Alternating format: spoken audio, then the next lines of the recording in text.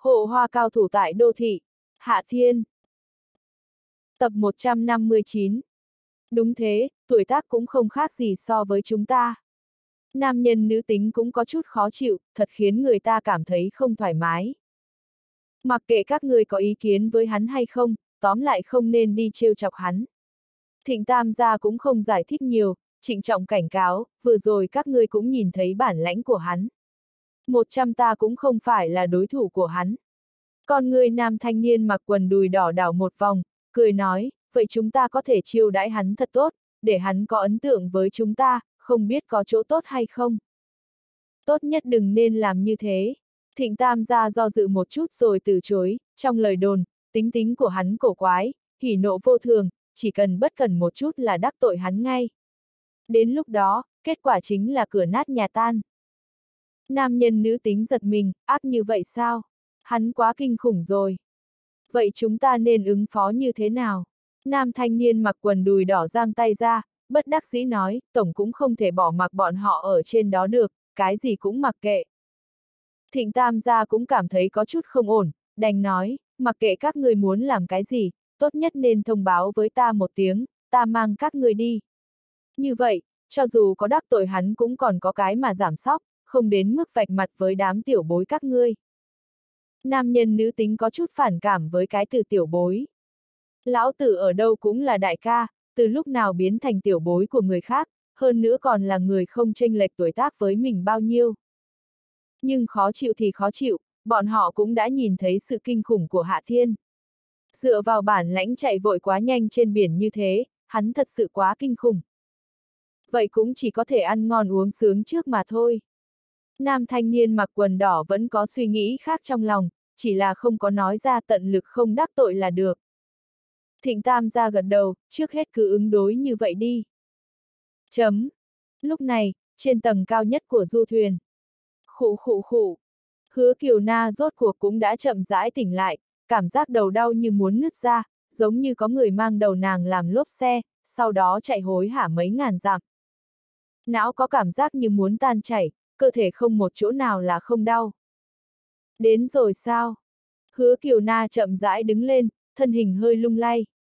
Nàng nhìn thấy Hạ Thiên đang nằm ngủ trên giường, không khỏi lên tiếng hỏi.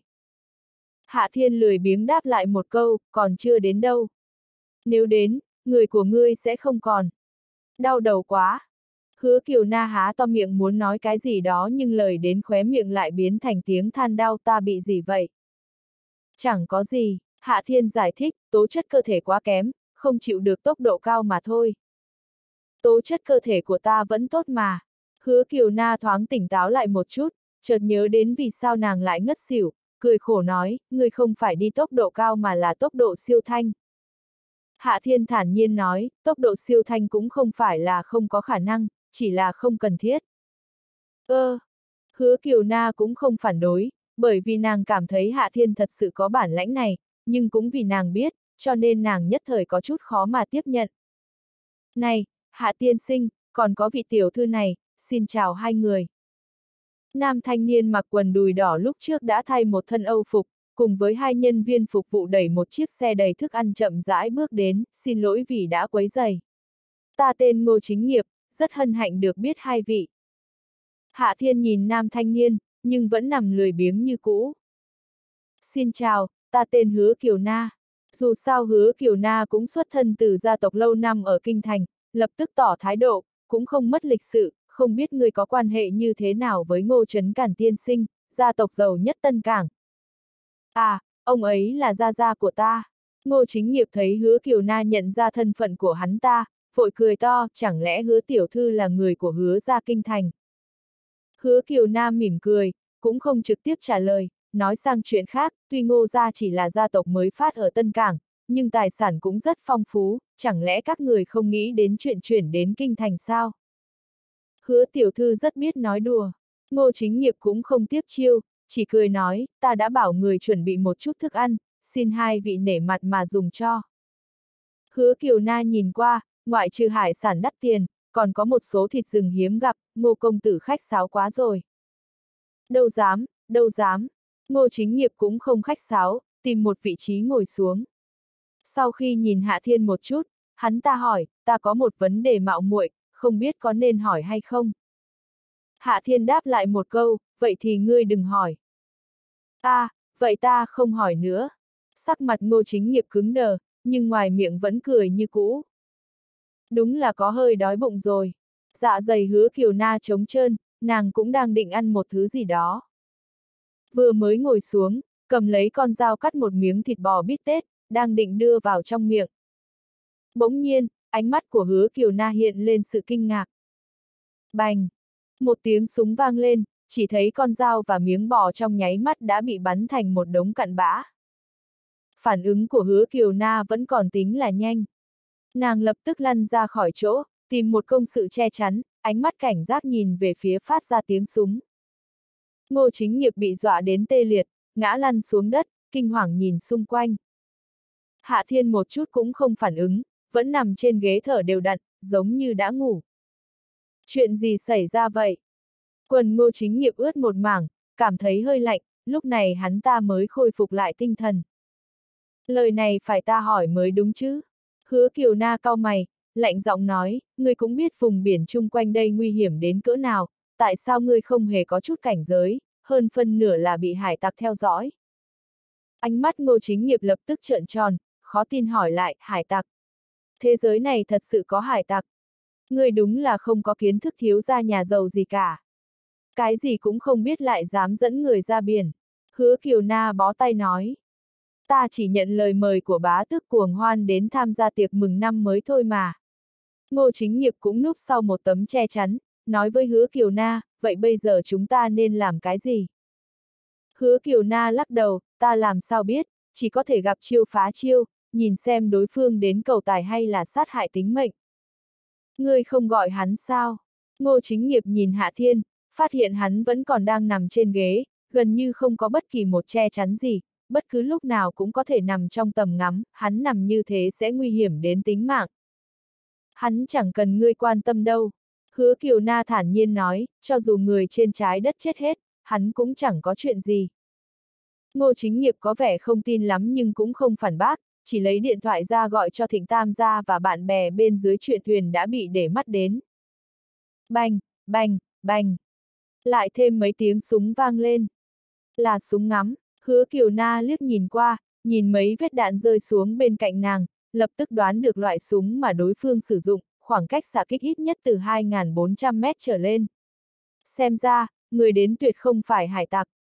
Ngô chính nghiệp giống như nằm mơ, tại sao ngươi biết là từ 2.400 mét trở lên? Ngươi cần chỉ quan tâm nhiều vấn đề như thế, ngươi chỉ cần quan tâm ngươi là được. Hứa Kiều Na bất mãn đáp lại một câu. Bành, bành. Lại thêm hai tiếng súng nữa vang lên, lần này trực tiếp bắn trúng Hạ Thiên đang nằm trên ghế. a à, hắn bị trúng đạn rồi, hắn không chết chứ. Ngô chính nghiệp nhìn Hạ Thiên bị mấy viên đạn bắn xuyên qua, một lần nữa bị dọa đến mặt không còn chút máu.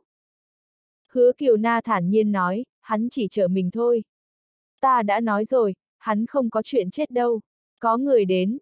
Lời còn chưa dứt, mấy bóng người từ giữa không trung rơi xuống, đứng trên tầng cao nhất của du thuyền.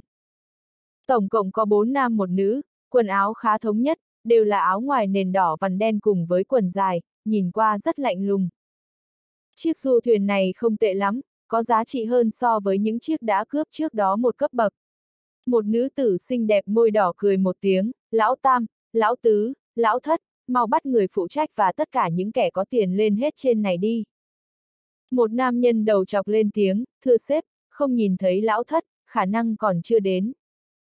Đúng là phế vật, nữ nhân môi đỏ có vẻ không được hài lòng cho lắm, được rồi, ngươi và lão tứ đi đi. Nếu có người không nghe lời, cứ trực tiếp giết chết. Vâng, thưa sếp, nam nhân đầu chọc và một nam nhân tóc rậm gật đầu, sau đó vác súng sải bước đi xuống.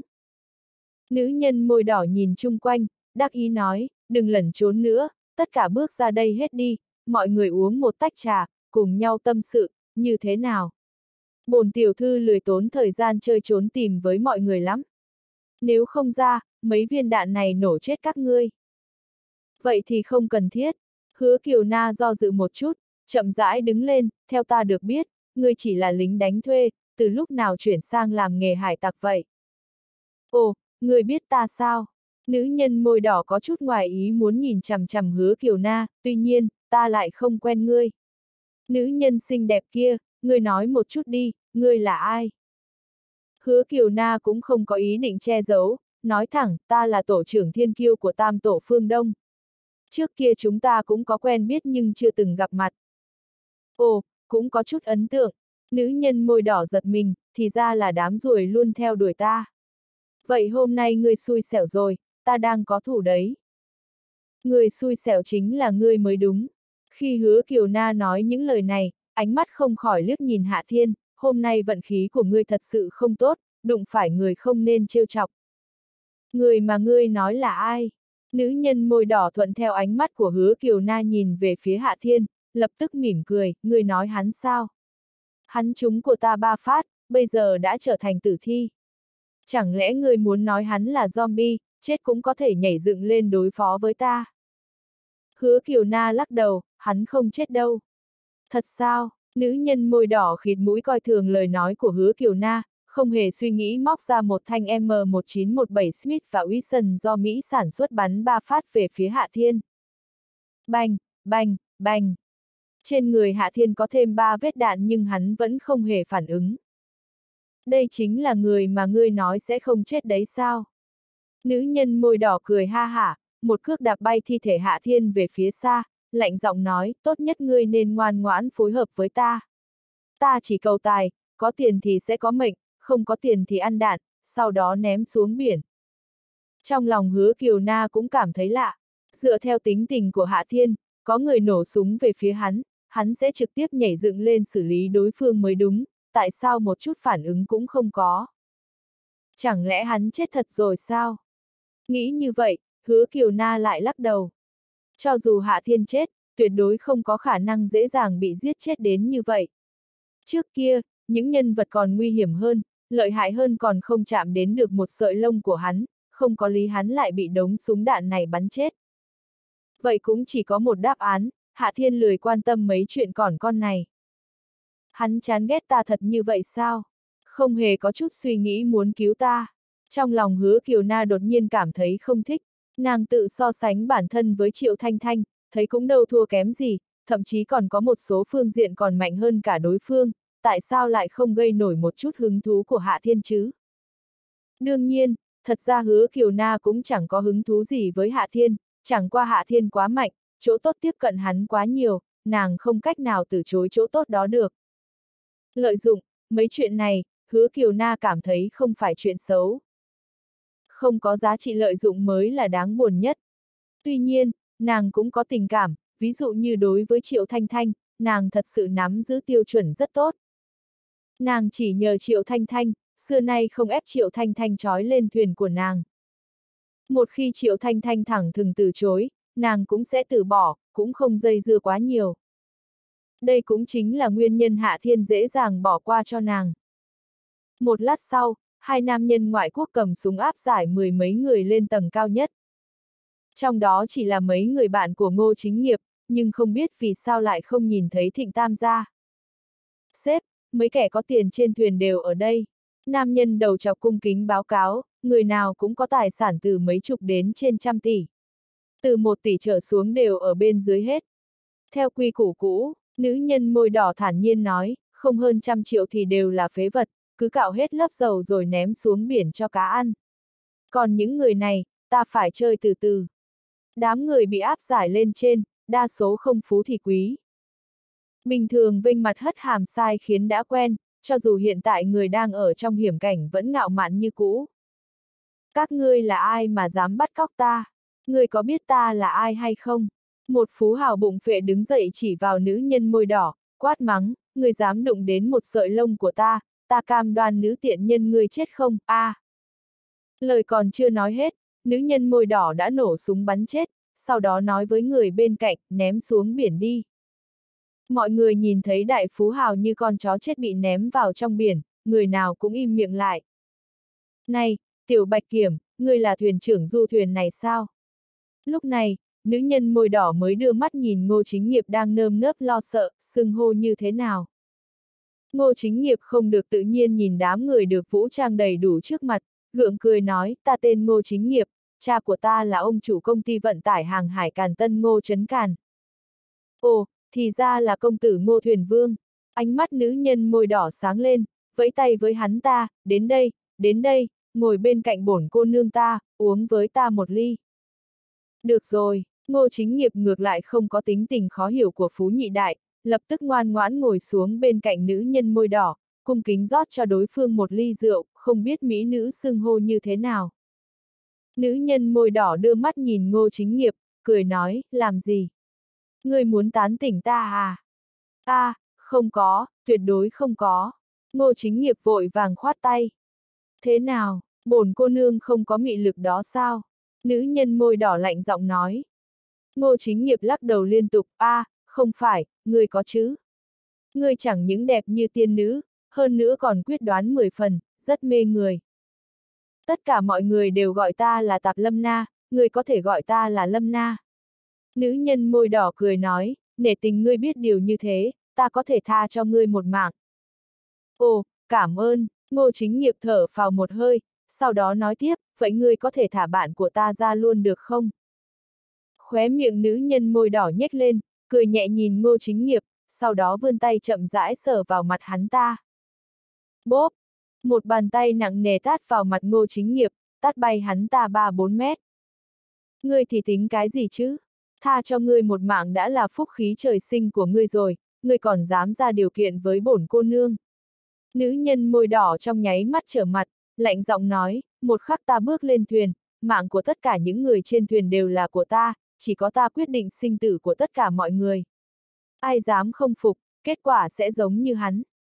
Nữ nhân môi đỏ chỉ tay vào Hạ Thiên đang nằm trên mặt đất, vừa nói vừa bắn cho mấy phát. Kết cục của hắn rất thảm. Lúc này, một âm thanh miễn cưỡng bỗng nhiên vang lên, nhưng các người dám phá giấc ngủ của ta, kết quả chỉ sợ sẽ còn thảm hại hơn. Ai đang nói chuyện vậy? Nữ nhân môi đỏ mở to mắt nhìn chung quanh, súng trong tay dần dần nhắm ngay người trước mặt, người đứng ra cho bổn cô nương. Nếu không, các ngươi đều phải chết. Đã xấu thì thôi đi, mắt còn bị mù nữa. Hạ thiên lười biếng ngáp một cái, chậm rãi đứng dậy, vừa rồi là ngươi nổ súng về phía ta đúng không?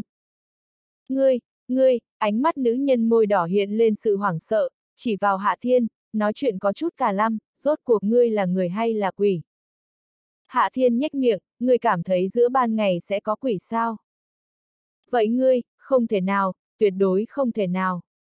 Nữ nhân môi đỏ lấy lại tinh thần, chỉ là nàng ta không cách nào tiếp nhận được sự thật này, người rõ ràng đã trúng nhiều đạn của ta như thế, tại sao lại không có việc gì? Vì sao chúng đạn lại phải có việc?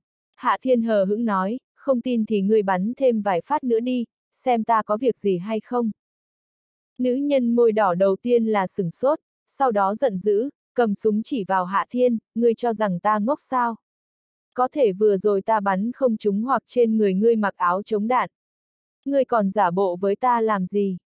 Ta phiền nhất chính là loại người cầm súng chỉ vào ta. Hạ thiên khó chịu nói, ta cho ngươi ba giây ăn hết cây súng này, có lẽ ta sẽ tha cho ngươi một mạng. Ta thả ngươi cái dám ngựa thì có. Nữ nhân môi đỏ không nói hai lời, bắn ba phát liên tiếp về phía Hạ Thiên. Đáng tiếc, Hạ Thiên vẫn bình yên vô sự như cũ. Ngược lại, ba thuộc hạ mà nàng ta mang đến, từng tên một kêu thảm ngã xuống trong vũng máu. Yêu Pháp, nhất định là yêu Pháp. Nữ nhân môi đỏ lập tức lấy một cây thánh giá từ sâu trong cổ áo ra, chẳng lẽ người chính là vô sư đến từ phương đông thần bí. Bớt làm bộ đi, Hạ Thiên nhếch miệng, nói tiếng chung cả nửa ngày, bây giờ còn giả bộ làm người ngoại quốc. Cho dù ngươi là người ngoại quốc, dám dùng súng chỉ vào người của ta, ngươi chắc chắn sẽ phải chết. Nữ nhân môi đỏ cảm thấy không ổn, lập tức co cẳng bỏ chạy, thuận tiện còn lớn tiếng nói với mấy tiểu đệ của mình, lão tam, lão tứ, các ngươi mau ngăn hắn lại cho ta. Audio điện tử võ tấn bền. Chỉ thấy hai nam nhân kia vọt đến trước mặt Hạ Thiên, một trái một phải vung quả đấm to lớn vào người của hắn. Hạ Thiên vẫn thái độ uể oải, giống như ngủ không đủ, cả người động cũng không động, nhìn chẳng khác nào người yếu mà ra gió. Bành bành! Hai trọng quyền đập thẳng vào người Hạ Thiên. Đáng tiếc, chúng không tạo thành bất cứ thương tổn gì cho hắn. Ngược lại, hai gã nam nhân ngoại quốc bỗng dưng biến sắc, ôm lấy nắm đấm, đau đến mức ngã xuống đất rú thảm không thôi. Hừ, tiểu tử, ngươi nhớ kỹ cho ta. Lúc này, nữ nhân môi đỏ đã nhảy lên đỉnh cột buồm, từ trên cao nhìn xuống nói với Hạ Thiên, việc này chưa xong đâu. Người dám giết ta, về sau ngươi nhất định phải trả giá bằng mạng. Không cần về sau đâu, bây giờ có thể coi như xong. Hạ Thiên cười nói. Bổn cô nương không rảnh đấu võ mồm với ngươi, ngươi chờ đó cho ta. Nữ nhân môi đỏ cảm thấy lạnh sống lưng, vội thả người nhảy lên, nhảy về phía biển cả mênh mông. Lúc này, hứa Kiều Na rất muốn đuổi theo, đáng tiếc lại không có được thực lực đó, đành phải nói với Hạ Thiên, Hạ Thiên, người đừng để nàng ta chạy thoát. Nàng ta là lính đánh thuê, nếu để nàng ta chạy đi, nàng ta tuyệt đối sẽ dẫn người đến trả thù. Nàng ta chạy không thoát đâu. Hạ Thiên cũng không sốt ruột, cơn giận vừa rồi nữ nhân này nổ súng về phía hắn vẫn còn chưa tan. Nữ nhân môi đỏ khịt mũi coi thường Hạ Thiên, chỉ cần xuống biển, ai cũng không dọa được nàng ta. Dù sao nàng ta còn có danh hiệu thâm hải nhân ngư. Bành! Nhưng điều kỳ lạ chính là, nàng ta cũng không lao được xuống biển mà đâm vào bên trong bong thuyền. Ta, mũi của ta, ta phải bỏ ra hơn 100 vạn để làm đấy. Nữ nhân môi đỏ kêu thảm một tiếng, xoay người ngồi dậy, đau lòng sờ cái mũi của mình, bác sĩ đều bị ta giết hết. Nếu bị hư, cũng không có ai làm lại đâu. Hứa Kiều Na lập tức tiến lên chế phục nữ nhân môi đỏ, lạnh lùng nói, mạng sắp không còn rồi, còn quan tâm cái mũi giả. Cái gì mà mũi giả, mũi rất đẹp mà. Nữ nhân môi đỏ bất mãn chừng mắt nhìn hứa Kiều Na, người có thể nhẹ tay một chút hay không? Bây giờ ta trốn cũng không thoát mà. Trốn không thoát cũng không thể phớt lờ. Hứa Kiều Na lạnh lùng nói, ngươi là hạng người cùng hung cực ác, dưới tay dính máu của không biết bao nhiêu người vô tội. Nữ nhân môi đỏ khinh thường nhìn hứa Kiều Na, người nói giống như người thánh khiết lắm vậy. Tổ chức thiên kiêu của các ngươi cũng không ít lạm sát, giết lầm đâu nhỉ. Cứ tưởng mình là cảnh sát thế giới. Ngươi đừng đánh đồng thiên kiêu với loại người các ngươi.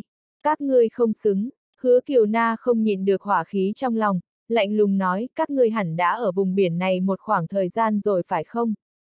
Nói đi, các ngươi đã cướp bao nhiêu chiếc thuyền, giết bao nhiêu người? Im, nữ nhân môi đỏ khinh thường nói, bớt làm ra vẻ chính nghĩa đi, bổn cô nương không thích. Ngươi có bản lãnh gì mà giống to với ta?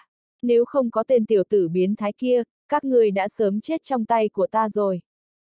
Hứa Kiều Na thản nhiên nói, mặc kệ dựa vào ai, bây giờ ta bắt ngươi. Ta đã nói đến nước này rồi, muốn giết muốn thả tùy các ngươi. Nữ nhân môi đỏ quay mặt sang chỗ khác, làm ra vẻ anh dũng. Thả, hứa Kiều Na cười lạnh, người cảm thấy có khả năng không? Cứ trực tiếp giết chết nàng ta đi. Lúc này, vị ngô chính nghiệp công tử vừa lúc tỉnh lại, giống to ta muốn tự tay giết nàng ta. Nào nào nào, có gan thì đến giết ta đi. Nữ nhân môi đỏ ngược lại không sợ hãi, ta là khách quý do bá tước cuồng hoan mời đến. Nếu ta chết ở đây, đến lúc đó hắn ta tìm các ngươi đòi người, hy vọng các ngươi có thể chịu nổi. Nghe xong, ngô chính nghiệp bỗng nhiên tỉnh lại. Biểu hiện của hứa kiều na trong nháy mắt cũng trở nên khó coi, hiển nhiên nàng cũng biết sự lợi hại của bá tước cuồng hoan. Ha ha, ta còn tưởng rằng các ngươi mạnh lắm chứ. Nữ nhân môi đỏ cảm nhận được bầu không khí thay đổi, không khỏi mạnh miệng lại, các ngươi mau thả ta ra, nếu không, các ngươi không có quả ngon để ăn đâu. Ta không ăn quả, Hạ Thiên hờ hững nói, nếu ngươi đã muốn vội chết đến như vậy, ta sẽ thành toàn cho ngươi. Hứa Kiều Na không nhịn được nhắc nhở, Hạ Thiên, ta thấy cẩn thận vẫn thỏa đáng hơn. Bá tước cuồng hoan không phải người bình thường. Nếu nàng ta thật sự có giao tình với ông ta, điều này quả thật có chút khó xử. Lời còn chưa nói hết, giữa ngón tay Hạ Thiên lộ ra một cây ngân châm đâm thẳng vào mi tâm nữ nhân môi đỏ. Nếu ngươi cảm thấy tên bá tước cuồng hoan nào đó có thể cứu ngươi, vậy ta cho ngươi cơ hội. Ngân châm Hạ Thiên vừa chạm đến đã lập tức thu lại. Hắn cười nói, ngươi còn sống một ngày rưỡi nữa. Bây giờ ngươi đi tìm tên bá tước cuồng hoan đó đi. Nữ nhân môi đỏ nghi hoặc hỏi, ngươi khẳng định thả ta đi. Nếu ngươi không đi, vậy ngươi chỉ còn sống được một phút. Hạ thiên dừng dưng nói. Thôi đi, bổn cô nương không tin, a à, nữ nhân môi đỏ đang định phản bác hai câu, đột nhiên cảm thấy tim mình căng lên, thất khiếu bắt đầu chảy máu, nàng ta hoảng hốt, vội nói với hứa Kiều Na, thả ta ra. Hứa Kiều Na đưa mắt nhìn Hạ Thiên, trưng cầu ý kiến của hắn. Thả nàng ta ra, Hạ Thiên tùy ý nói. Được, mặc dù hứa Kiều Na có chút không vui nhưng vẫn làm theo. Nữ nhân môi đỏ đưa tay lên lau vết máu trên mặt, muốn nó ngừng lại, kết quả nó lại càng chảy nhiều hơn, nhưng chỉ cần nàng khẽ động, máu sẽ không chảy nhanh như vậy nữa.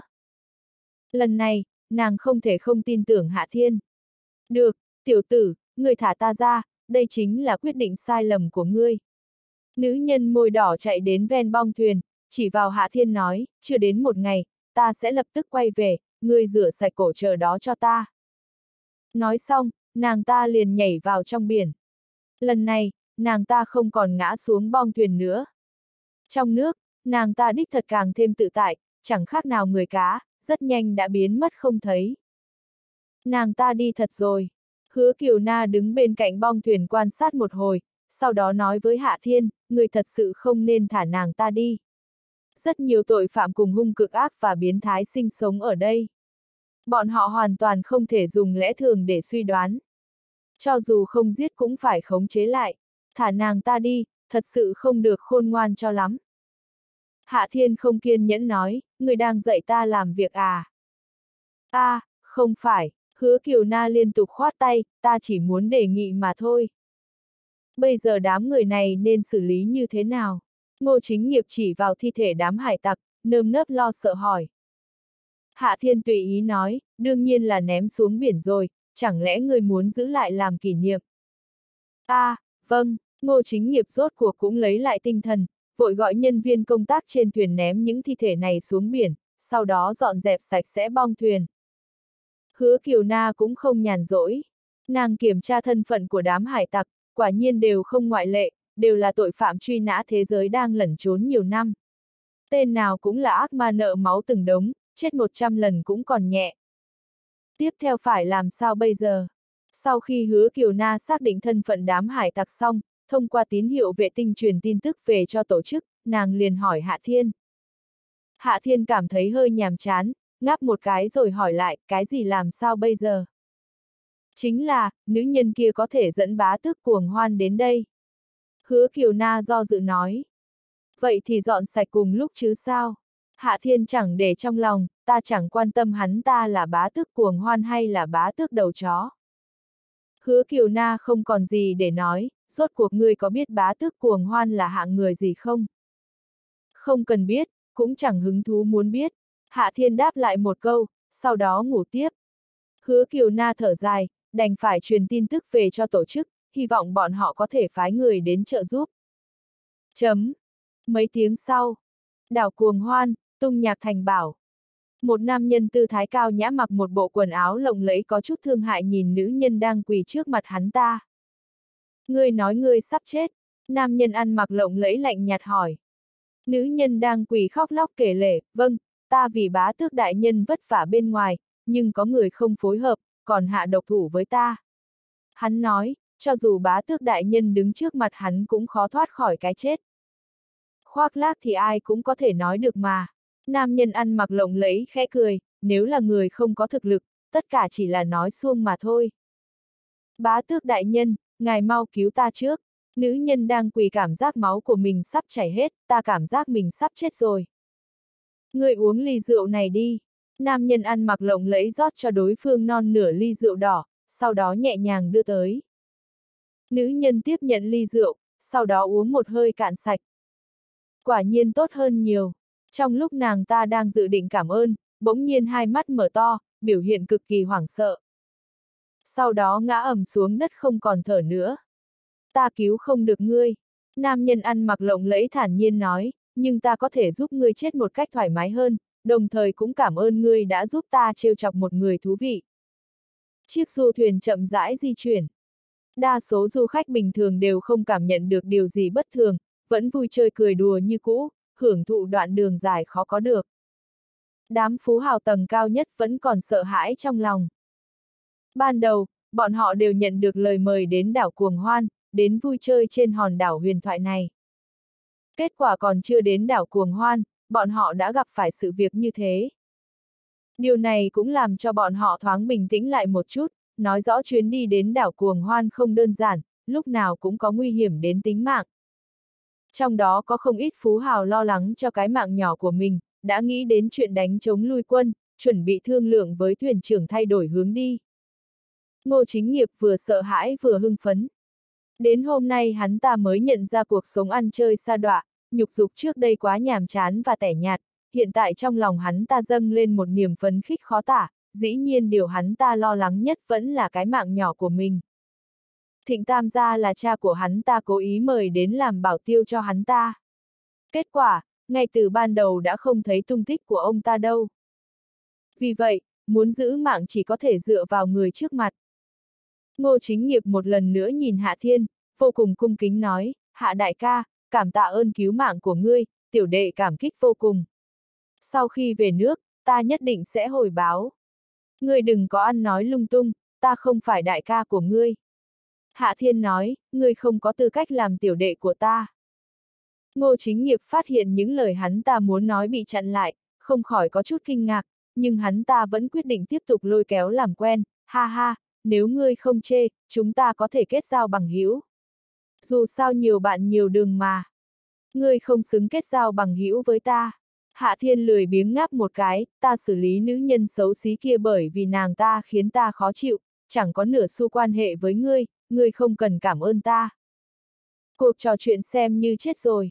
Ban đầu, Ngô Chính Nghiệp cũng không phải là người có tính cách có thể gợi chuyện phụ họa người khác, nhất thời trong lòng cũng dâng lên sự bất mãn. Ngươi tốt nhất đừng nên làm phiền hắn, nếu không, ngươi sẽ bị hắn ném thẳng vào biển đấy. Lúc này, tác dụng của hứa Kiều Na đã phát huy. Nàng ta nói với Ngô Chính Nghiệp, tên gia hỏa đó, ngoại trừ vợ của hắn, cũng chỉ có nữ nhân xinh đẹp mới có thể tiếp cận. Nữ nhân xinh đẹp. Ngô Chính Nghiệp chớp mắt, nghĩ đến một suy nghĩ không tồi. Mặc dù ta không biết ngươi đang suy nghĩ chuyện gì, nhưng ta khuyên ngươi nên bỏ suy nghĩ đó đi. Hứa Kiều Na nhìn biểu hiện của ngô chính nghiệp, trong nháy mắt đoán được hắn ta muốn làm gì, lập tức nhắc nhở, đám dung chi tục phấn mà ngươi tiếp xúc hoàn toàn không lọt nổi mắt xanh của hắn đâu, ngược lại còn khiến cho tâm trạng của hắn khó chịu. Ngô chính nghiệp cảm thấy lạ, nhỏ giọng hỏi, hứa tiểu thư, chẳng lẽ ngươi và hắn là... Ngươi đừng có đoán mò, ta và hắn hoàn toàn không phải loại quan hệ đó. Hứa Kiều Na lắc đầu, phủi sạch quan hệ, hắn cũng chướng mắt ta. Đám nữ nhân mà ngươi quen biết ngay cả ta cũng không sánh bằng, ngươi nên từ bỏ suy nghĩ đó đi. Hắn hoàn toàn không giống như ngươi đã nghĩ đâu. Ngô chính nghiệp có chút cảm thán, hứa tiểu thư quốc sắc thiên hương, thế gian hiếm thấy. Đám nữ nhân mà ta biết, ngay cả một phần mười của ngươi cũng không sánh bằng. Ngươi đừng nịnh nọt ta nữa, hứa kiều na nhìn ngô chính nghiệp, nhỏ giọng nói, muốn tạo mối quan hệ tốt với Hạ Thiên, quan trọng nhất không phải là làm sao để lấy lòng, mà là thuận theo ý của hắn, tận lực ít phiền hắn. Mặc dù ta không biết cái gì là tuyệt thế mỹ nữ, nhưng trên thuyền thật sự có một vị tiểu thư cực kỳ xinh đẹp, có thể giới thiệu cho Hạ Tiên sinh làm quen. Ngô chính nghiệp cố ý lớn tiếng nói cho Hạ Thiên nghe, tuy nói có khả năng mạo phạm hứa tiểu thư, nhưng dung mạo của nàng ấy đích thật cao hơn hứa tiểu thư một bậc. Hạ Thiên không cảm thấy hứng thú đâu. Sắc mặt hứa kiều na trong nháy mắt trở nên khó coi. Ngô chính nghiệp này muốn bỏ qua nàng, trực tiếp liên hệ với Hạ Thiên. Hạ Thiên đột nhiên xuất hiện trước mặt ngô chính nghiệp, ngồi xổm trên mặt bàn, cười hỏi, nữ nhân mà ngươi nói ở đâu? Nàng đang ở tầng thứ 5. Ngô chính nghiệp thấy Hạ Thiên thật sự hứng thú, không khỏi hưng phấn hẳn lên, nghe nói nàng là nữ thần do bá tước cuồng hoan đặc biệt mời đến mừng năm mới. Buổi tối sẽ có tiệc, nàng ấy chắc chắn sẽ có mặt. Hạ Thiên đang cảm thấy nhàm chán, lại không có vợ bên cạnh. Hứa Kiều Na hoàn toàn không hợp khẩu vị của hắn, đoạn đường này thật sự quá nhàm chán. Nếu có thể quen biết một tiểu thư xinh đẹp nào đó để giết thời gian cũng không tệ. Nếu như nàng ấy thật sự xinh đẹp, vậy ta có thể miễn cưỡng nhận ngươi làm tiểu đệ. Hạ Thiên hờ hững nói, nếu là người quái dị, ta sẽ ném thẳng ngươi xuống biển. Ngô chính nghiệp vỗ ngực nói, yên tâm đi, ta cam đoan là tuyệt thế mỹ nữ, nhưng nàng ấy mang theo 10 hộ vệ áo đen, có vẻ không dễ làm quen cho lắm. Ta chính là bảo tiêu mạnh nhất thế giới, bảo tiêu nào cũng không làm khó được ta. Hạ thiên nhếch miệng. Vậy để ta đi sắp xếp tiệc tối. Ánh mắt ngô chính nghiệp đảo một vòng, nói tiếp, còn nữa, vừa rồi có không ít phú hào muốn kết bạn với hạ tiên sinh. Nếu bọn họ có thể biểu đạt lòng biết ơn của mình đối với ngươi trong bữa tiệc tối, đó chính là vinh hạnh suốt đời của bọn họ. Hạ thiên không thèm để ý, khoát tay nói, đám người đó chẳng liên quan gì đến ta, người sắp xếp thế nào cũng được. Được, vậy ta xin cáo lui trước. Ngô chính nghiệp tưởng rằng đã mò được tâm tư của Hạ Thiên, lập tức cáo từ rời đi. Ta nói Hạ Thiên, người vẫn rất phong lưu đó nha. Hứa Kiều Na có chút mất hứng nhìn Hạ Thiên, người vừa mới ra ngoài đã bắt đầu tìm nữ nhân, người xứng với Thanh Thanh sao? Hạ Thiên nhìn hứa Kiều Na, câu sau, ngươi nên tự hỏi ngươi thì hay hơn. Đúng, ta đích thật không có lập trường chỉ trích ngươi. Hứa Kiều Na thở dài nói, tuy nhiên, nói thế nào bây giờ chúng ta cũng đang hợp tác với nhau, người tốt xấu gì cũng nên tôn trọng ta một chút. Ta chẳng hợp tác gì với ngươi cả, là ngươi quỳ xuống cầu xin ta mang ngươi đi mà. Hạ Thiên dừng dưng nhìn hứa Kiều Na, nếu không phải Thanh Thanh nha đầu gửi tin nhắn cho ta, nhờ ta chiếu cố ngươi, ngươi đã sớm bị ta ném xuống biển rồi. Hứa Kiều Na. Chấm.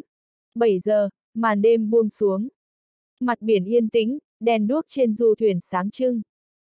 Bên trong hội trường tầng 6 đang tổ chức một bữa tiệc tối long trọng. Người tham dự bữa tiệc không phú thì quý. Chỉ là bọn họ đều không quan tâm, giống như đang chờ đợi điều gì đó. Một lát sau, cửa hội trường được người ta đẩy ra. Mọi người đưa mắt nhìn lại, chỉ thấy một người mặc áo trắng, mặt còn đeo mặt nạ, dưới sự bảo vệ của 10 vệ sĩ áo đen, chậm rãi tiến vào trong hội trường. Hoan nghênh hoa tiểu thư, ta còn tưởng rằng ngươi không đến. Ngô chính nghiệp vội tiến lên nghênh đón, mỉm cười khiêm nhường, mọi người đang rất chờ ngươi. Nếu bữa tiệc này không có ngươi tham gia, nhất định sẽ ảm đạm vô quang. Ngươi đúng là biết nói chuyện, nhưng chẳng thật lòng chút nào. Một thiếu nữ mặc váy xanh đứng bên cạnh cô gái áo trắng cười lạnh, tiểu thư nhà ta chỉ muốn nhìn xem rốt cuộc ngươi có ý định bất lương gì.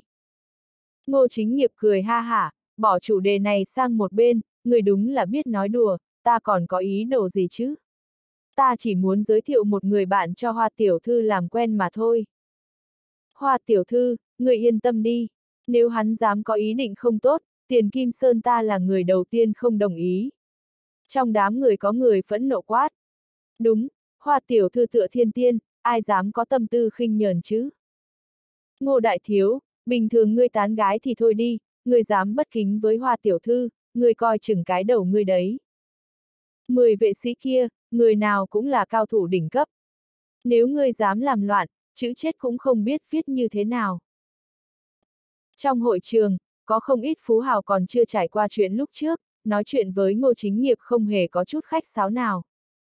Các vị nói đùa, ngô mỗ chỉ là phú nhị đại, nào dám lỗ mãng chứ. Ngô chính nghiệp cười ha hả, nói với mọi người, chỉ là đại ca của ta muốn làm quen với hoa tiểu thư, ta chỉ là người dẫn tiến mà thôi. Đại ca ngươi là ai vậy? Thiếu nữ mặc váy xanh khó chịu nói, người bảo hắn cút ra đây, ta muốn xem hắn có tư cách làm quen với tiểu thư nhà ta hay không. Ngô chính nghiệp nói, hôm nay thuyền của chúng ta bị hải tặc phục kích, tin rằng có người ở đây cũng đã nghe thấy, thậm chí còn bị uy hiếp đến tính mạng. Toàn bộ đều nhờ đại ca của ta mới đánh lui được đám hải tặc đó. Cho nên, bất luận đại ca ta có thỉnh cầu như thế nào, ta đều cảm thấy không quá phận. Huống chi chỉ là làm quen với hoa tiểu thư thôi mà. Hoa tiểu thư mặc áo trắng vẫn không nói lời nào. Ha ha, đó là do các ngươi gặp nguy hiểm. Thiếu nữ váy xanh vẫn khinh thường, lạnh lùng nói, đám hải tặc đó trước mặt vệ sĩ nhà ta, tất cả đều không đáng chú ý, hoàn toàn không cần đại ca ngươi ra tay. Hơn nữa, ta còn hoài nghi hải tặc kia là do các ngươi bày ra, muốn mượn cơ hội tiếp cận tiểu thư nhà ta. Này, ngươi nói hơi quá đáng rồi đấy nhé. Ngô chính nghiệp nhìn thiếu nữ váy xanh, có chút khó chịu, ta thiếu chút nữa giao cả mạng mình vào trong đó, ngươi còn nói ta cố ý sắp xếp. Thiếu nữ váy xanh lạnh lùng đáp lại, ngươi còn nói là thiếu chút, vậy ai biết có phải do ngươi làm bộ hay không? Nói xong, nàng ta nhìn chung quanh, cao giọng nói, ta cảnh cáo một lần cuối, nếu ai còn dám mang ý đổ xấu với tiểu thư nhà ta, làm ra một số hành động nhỏ, tiểu hoa ta cam đoan hắn ta sẽ chết không nơi táng thân. Nói xong, đám vệ sĩ kia đều lộ ra vũ khí trong ngực, sát khí đằng đằng.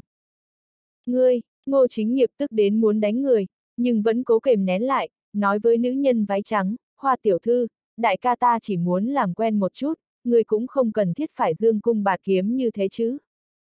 Cô gái mặc áo trắng vẫn không lên tiếng, chỉ chờ thiếu nữ váy xanh tuyên bố xong liền quay người, cất bước bước ra khỏi hội trường. Hừ, nếu ai không tin, có thể thử một chút. Thiếu nữ mặc váy xanh hừ một tiếng, lại khinh thường nhìn ngô chính nghiệp, người bảo đại ca của ngươi biến xa một chút, ở đâu nhảy ra một con cóc cũng đòi đánh chủ ý vào tiểu thư nhà ta, a. À. Lời còn chưa nói hết, mặt của nàng ta đã ăn một bà tai, răng rơi mất hai cái. Ngươi mới là cóc đấy.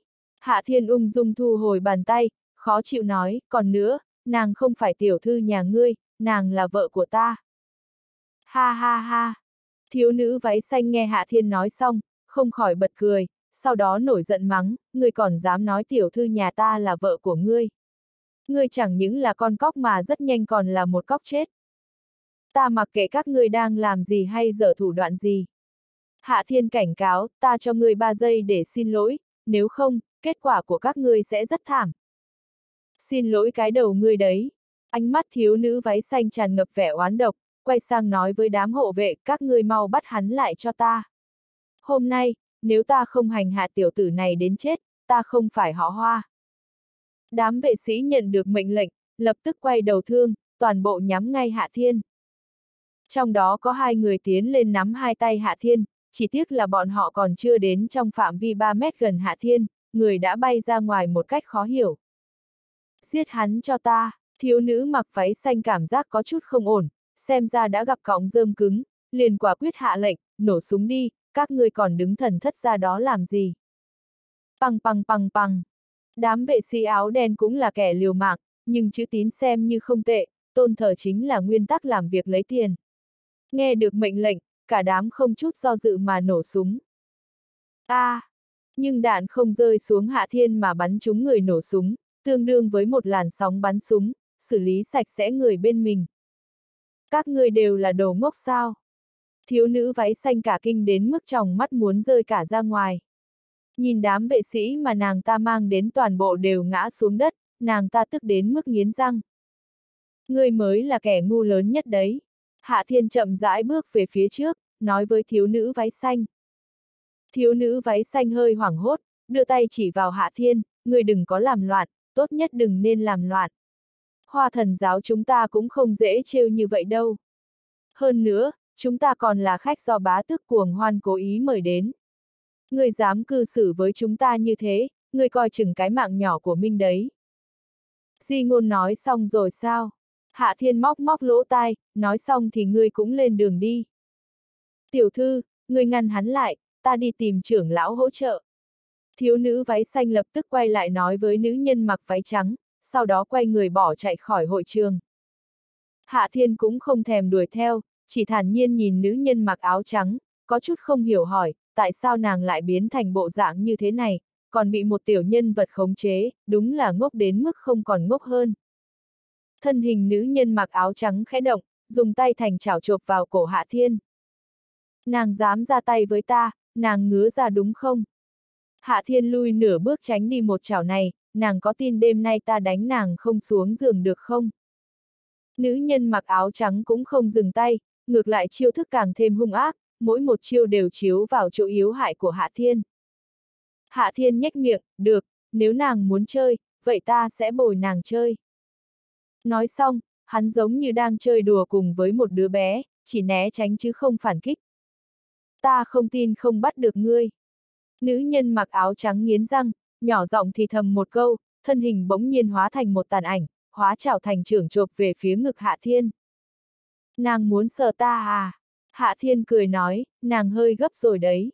Đêm nay chúng ta có nhiều thời gian, có thể chậm rãi chơi với nhau. Có quỷ mới chơi với ngươi. Nữ nhân mặc áo trắng hừ lạnh một tiếng, rút tay về, vén mặt nạ lên, khó chịu nói, không chơi nữa. Một chút thú vị cũng không có. Rõ ràng ta đã khổ luyện một khoảng thời gian, cũng vẫn không đánh lại ngươi, quá khinh người rồi. Hạ thiên nhìn mặt đối phương, cười nói, bối nha đầu, những chiêu thức mà nàng học, 12 năm trước ta đã dùng. Nếu nàng muốn đánh lại ta, nàng cần học thêm 10 năm nữa. Nhưng đến lúc đó, nàng cũng sẽ đánh không lại ta đâu, bởi vì ta khẳng định đã mạnh hơn. Ngươi im miệng đi, tô bối bối giận không chỗ phát tiết, nói với Hạ Thiên, ngươi không thể mặc kệ chuyện này hay sao? Ta khó khăn lắm mới tìm được thứ để chơi, kết quả lại bị ngươi quấy nhiễu. Bối nha đầu, nàng muốn chơi cái gì, ta chơi với nàng. Hạ Thiên nhảy lên, rất tự nhiên ôm lấy cái eo nhỏ nhắn của tô bối bối, ta cam đoan nàng sẽ hài lòng. Tên lưu manh đáng chết ngươi, trong đầu nhất định đang nghĩ những thứ không lành mạnh. Tô bối bối gạt cánh tay không thành thật của Hạ Thiên Gia, tức giận nói, không phải ngươi đang ở Nam Cương sao? Tại sao ta ra biển rồi cũng đụng phải ngươi thế? Ngươi là oan hồn bất tán à? Hạ Thiên nghiêm túc nói, đây chính là duyên phận. Bối nha đầu, nàng trốn không thoát đâu. Cho dù là duyên phận thì đó cũng là nghiệt duyên. Tô bối bối thở phì phò phản bác. Nghiệt duyên thì cũng là duyên. Hạ Thiên gật đầu, tiến lên một bước giải thích, hơn nữa nó càng thêm kiên cố hơn so với duyên phận bình thường. Đoán chừng đời này nàng đừng hòng trốn được. Tô bối bối thở dài, vậy thì kiếp sau, ta nhất định phải làm nam nhân, ngươi làm nữ nhân, ta chơi chết ngươi. Không có kiếp sau đâu. Hạ thiên lắc đầu, đời này chính là vĩnh viễn, nàng chính là nữ nhân của ta. Ngươi, tô bối bối kỳ quái nhìn chằm chằm hạ thiên, một hồi lâu sau mới nói, đúng là buồn nôn. Mấy lời buồn nôn như vậy mà ngươi cũng nói ra được. Không buồn nôn, đây là lời nói thật lòng của ta. Biểu hiện trên mặt hạ thiên khá chăm chú, không hề có chút trêu chọc hay đùa giỡn. Tô bối bối khoát tay, được rồi, được rồi, không tranh cãi với ngươi nữa. Dù sao ta khó khăn lắm mới đến đây một chuyến, người giúp ta diễn một màn kịch này đi. Diễn kịch gì? Hạ Thiên nghi hoặc hỏi, bối nhà đầu, thời gian vừa qua rốt cuộc nàng đi đâu thế? Tại sao lại biến thành hoa tiểu thư gì đó? Ta cũng chẳng cần phải giấu ngươi.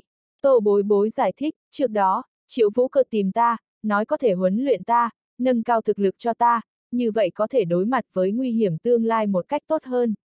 Đương nhiên, ta cũng muốn học được chút bản lãnh, sau đó đánh ngươi một trận. Hạ Thiên lắc đầu, cái này nàng nghĩ cũng đừng nghĩ. Nàng học bao lâu cũng không làm được đâu. Được rồi, ta biết rồi. Tô bối bối học cách nhếch miệng của Hạ Thiên, bất mãn nói, triệu tỷ tỷ huấn luyện ta thật ra rất nghiêm ngặt, nhưng lại quá buồn tẻ, nhàm chán, ta chịu không được loại không khí trầm muộn như thế, nhưng ta đánh không lại tỷ ấy. Vừa lúc hôm trước tỷ ấy có việc ra ngoài, ta liền nghĩ đến chuyện trốn ra ngoài chơi một chút.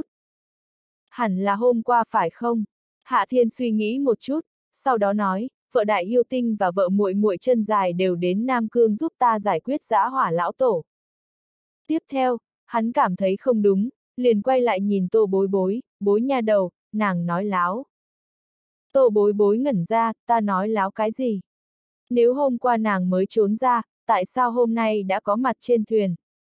Vẻ mặt hạ thiên vô cùng nghi hoặc, nàng còn chưa học được phiếu miểu bộ mà, cũng không có khả năng trong một ngày ngắn ngủi đã đến đây. Ta còn chưa nói xong mà. Tô bối bối nói với Hạ Thiên, ta muốn ra ngoài, nhưng cái chỗ mà ta ở giống như một mê cung, không có kiến trúc gì cả, muốn ra ngoài vẫn rất phiền phức. Ta đi gần nửa ngày, cuối cùng tiến vào một căn phòng nhỏ, bên trong trống rỗng, còn có một cái đài cao, bốn góc là bốn cây cột dựng thẳng. Hạ Thiên sững sờ, lập tức mở to mắt, nàng ở tiểu tiên giới. Gian phòng đó là thiên ngoại thiên, là gian phòng giam giữ cửu nha đầu lúc trước. Ồ, tiểu tiên giới. Tô bối bối đích thật không hiểu rõ cho lắm. Nàng một đường được triệu vũ cơ dẫn đến. Nàng nói tiếp, dù sao ta cũng chẳng biết mình đụng phải cái gì, hai cây cột trong đó phát sáng, sau đó xuất hiện một khe nứt kỳ quái hút ta vào. Đến khi ta tỉnh lại, ta đang ở trên thuyền. Nàng bị khe nứt thời không truyền tống. Hạ Thiên nói, cũng may nàng chỉ khởi động có hai cây cột. Nếu bốn cây, bây giờ nàng xuất hiện ở thế giới nào cũng không biết. Sao, ánh mắt tổ bối bối sáng lên, kích thích như vậy sao? Sớm biết, ta đã thử nghiệm thêm.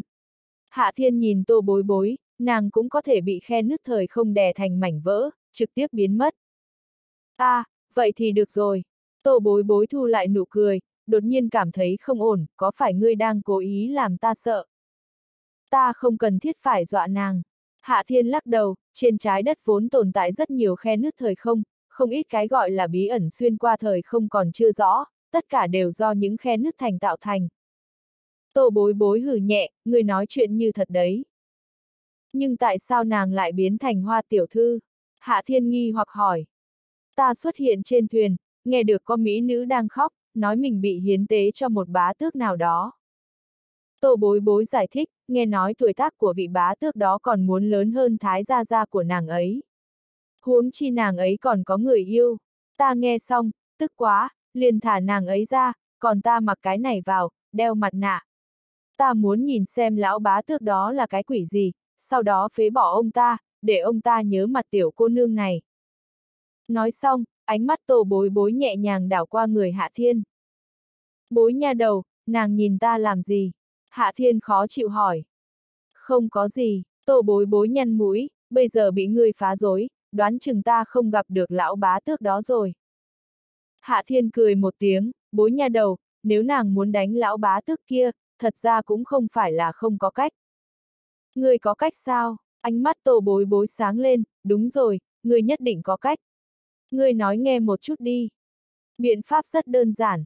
Hạ Thiên nghiêm túc nói, đến đảo Cuồng Hoan, sau đó tìm đến tên bá tước, đánh cho lão ta một trận không được sao. Tô bối bối chớp mắt, người nói đây là biện pháp. Không phải à, Hạ Thiên hỏi lại. Tốt, tô bối bối không còn gì để nói. Đây đúng là biện pháp tốt nhất Hạ Thiên nghĩ ra được.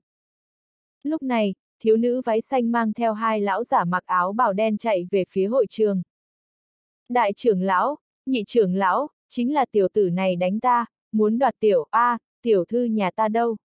Lúc này, thiếu nữ váy xanh chỉ tay vào Hạ Thiên, đang định thống mạ vài câu, chợt nhìn thấy mặt nạ nằm trên mặt đất, nhưng lại không nhìn thấy hoa tiểu thư đâu.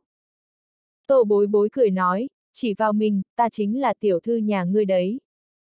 Ngươi, thiếu nữ mặc váy xanh sừng sốt, sau đó giận dữ nói, ngươi nói đùa cái gì thế?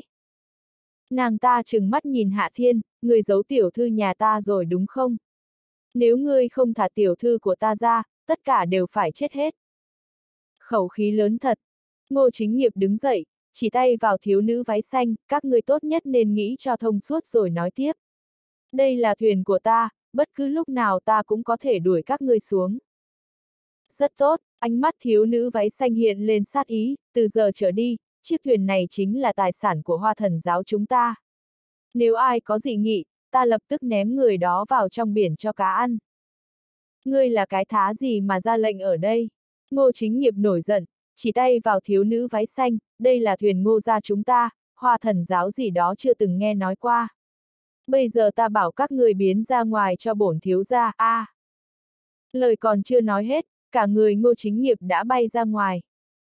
Thiếu nữ váy xanh nói với hai lão giả mặc áo bảo đen đứng sau lưng, các người giải quyết hắn cho ta, sau đó tìm kiếm toàn bộ con thuyền, nhất định phải tìm cho ra tiểu thư.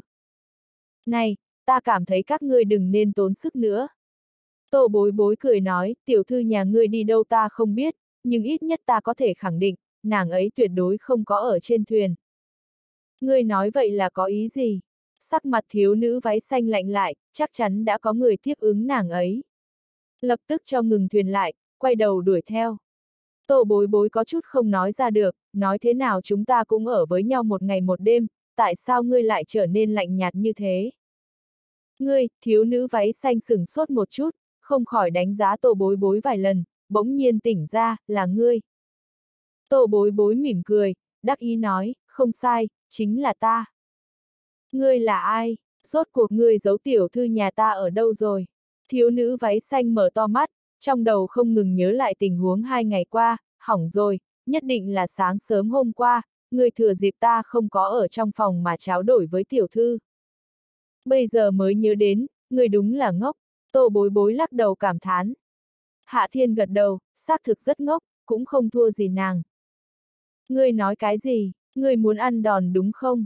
Tô bối bối tức đến mức muốn đánh Hạ Thiên một quyền.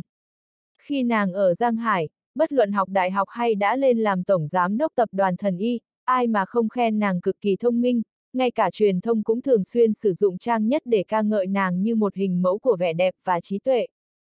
Ngốc giống như nàng là được. Hạ Thiên cười một tiếng. Bây giờ hắn đang cảm thấy nhàm chán, cũng không muốn cứ như vậy mà đắc tội với tô bối bối. Tô bối bối cũng không dễ dụ như vậy. Nàng nói với Hạ Thiên, người đúng là miệng chó không thể khạc ra ngà voi. Cho dù nói nhảm, người cũng không thể khiến ta vui vẻ được sao. Nếu ngươi muốn khen ta, ngươi không thể nói ta là đệ nhất thông minh trong thiên hạ được à. Không được, Hạ Thiên nghiêm túc lắc đầu, chúng ta nên thực tế và có nguyên tắc. Ta mới là người thông minh nhất thiên hạ, nàng chỉ có thể được coi là người thông minh thứ hai. a à, không đúng, thần tiên tỷ tỷ thông minh hơn nàng, vợ băng băng cũng thông minh hơn nàng. Tiểu Kiều càng không cần phải nói. Vợ xinh đẹp là chị họ của nàng, nhất định còn mạnh hơn nàng. Hạ Thiên lắc đầu, muốn khen tô bối bối một chút, kết quả đếm tới đếm lui, 10 vị trí đầu đều không có. Ngươi, tô bối bối tức điên lên, mắng to, lúc này, ngươi lại nói đến nguyên tắc. Đầu của ngươi là đầu gỗ à? Một đôi cầu nam nữ. Đại trưởng lão, nhị trưởng lão, các người mau giết bọn họ cho ta. Thiếu nữ mặc váy xanh thấy Hạ Thiên và Tô Bối Bối không nhìn nàng ta, hơn nữa còn công nhiên liếc mắt đưa tình trước mặt nàng ta, nàng ta tức đến mức phổi muốn nổ tung, lập tức hạ lệnh giết chết. Hai trưởng lão áo bào đen giống như quỷ mị, trong nháy mắt đã xuất hiện trước mặt Hạ Thiên và Tô Bối Bối. Lập tức, hai vệt ánh sáng lạnh lẽo hiện lên, dùng tốc độ cực nhanh chém về phía cổ Tô Bối Bối và Hạ Thiên. Chút trình độ đó mà còn muốn giết người. Mặc dù bản lãnh của Tô Bối Bối không bằng chúng nữ của Hạ Thiên, nhưng cũng không bị mấy chiêu thức như thế này làm bị thương. Nàng nhẹ nhàng linh hoạt tránh đi một chiêu này. Hạ Thiên thì càng không cần phải nói, động cũng không thèm động. Chảm kích phóng đến trước mặt hắn đã biến mất không còn thấy tăm hơi. Các ngươi cũng có chút bản lãnh đó, khó trách lại dám đối đầu với hỏa thần giáo chúng ta. Thiếu nữ mặc váy xanh hừ lạnh một tiếng, nói với hai lão giả mặc áo bào đen, các ngươi không cần lưu thủ. Dù sao cũng không thấy tiểu thư đâu, người trên thuyền này phải chết hết mới có thể giải mối hận trong lòng ta. Hai lão nhân mặc áo bào đen nhận được mệnh lệnh, cũng không tiếp tục che giấu, toàn thân tản ra một luồng khí tức màu xanh quỷ dị. Khí tức rất nhanh tràn ngập toàn bộ đại sảnh, giống như sương mù. Đám phú hào trong đại sảnh cảm thấy không ổn, vội chạy trốn. Kết quả còn chưa đến 2-3 giây, từng người một đã ngã xuống đất, bất tỉnh nhân sự. Đây chính là đoạt thần vụ, có thể trực tiếp đoạt tất cả sinh mệnh. Thiếu nữ váy xanh đắc ý, có chút trào phúng nhìn Hạ Thiên và Tô Bối Bối, mặc dù hai người các người có chút bản lãnh, nhưng so sánh với thủ đoạn của hoa thần giáo chúng ta vẫn không đáng một phốc. Biến đi, Tô Bối Bối nhìn thấy, tức giận bay đến một cước, đá thẳng vào mặt thiếu nữ mặc váy xanh. Thiếu nữ mặc váy xanh bay ra ngoài, răng trong miệng vỡ nát, toàn bộ gương mặt sưng vù. Vô dụng thôi, ta không có cảm giác đau. Tuy nhiên, thiếu nữ mặc váy xanh đã bỏ lên, phun ra một ngụm máu, chút tổn thương này rất nhanh có thể khôi phục. Ngươi chẳng qua chỉ uổng phí sức lực mà thôi. Tô bối bối quay lại nhìn Hạ Thiên, ta nhìn nàng ta khó chịu quá, ngươi có cách nào khiến nàng ta còn khó chịu hơn cả ta không? Có chứ, Hạ Thiên cười một tiếng, nàng ta không phải không có cảm giác đau sao. Ta có thể khiến cho nàng ta cảm thấy đau, hơn nữa còn tăng thêm mấy lần. Được, cứ làm như vậy đi. Tô bối bối gật đầu, nhanh lên, ta không chờ được nữa, ta muốn nghe tiếng nàng ta kêu thảm và cầu xin tha thứ. Nhân loại tự cho là đúng, ngươi cho rằng ta là ai? Người sao? Thiếu nữ váy xanh cười nhạo, thân hình bỗng hóa thành một cây cao 5 mét, bản thể của bổn cô nương là bách niên thụ phách, hóa thành hình người chỉ vì muốn thuận tiện hành tẩu nhân gian. Thủ đoạn đối phó nhân loại các ngươi không có tác dụng đối với ta. Hạ thiên mỉm cười nói, người đừng nên khoác lác sớm như thế. Ta trước châm cho ngươi một châm, để ngươi nếm thử tư vị đau đớn là gì. Đại trưởng lão, nhị trưởng lão, ngươi còn đứng thất thần ra đó làm gì, giết hắn cho ta. Thiếu nữ váy xanh có chút kiêng kỵ hạ thiên, lập tức ra lệnh cho hai lão giả áo bảo đen. Hai lão giả áo bảo đen nghe xong, nhanh chóng hành động, giống như hai quỷ ảnh màu đen phiêu đáng đến trước mặt Hạ Thiên. Đừng làm phiền ta, cút sang một bên. Hạ Thiên cao mày, chậm rãi vỗ một cái. Lão giả áo bảo vóc dáng hơi cao bỗng nhiên chém ra một luồng hàn mang, đón nhận bàn tay của Hạ Thiên.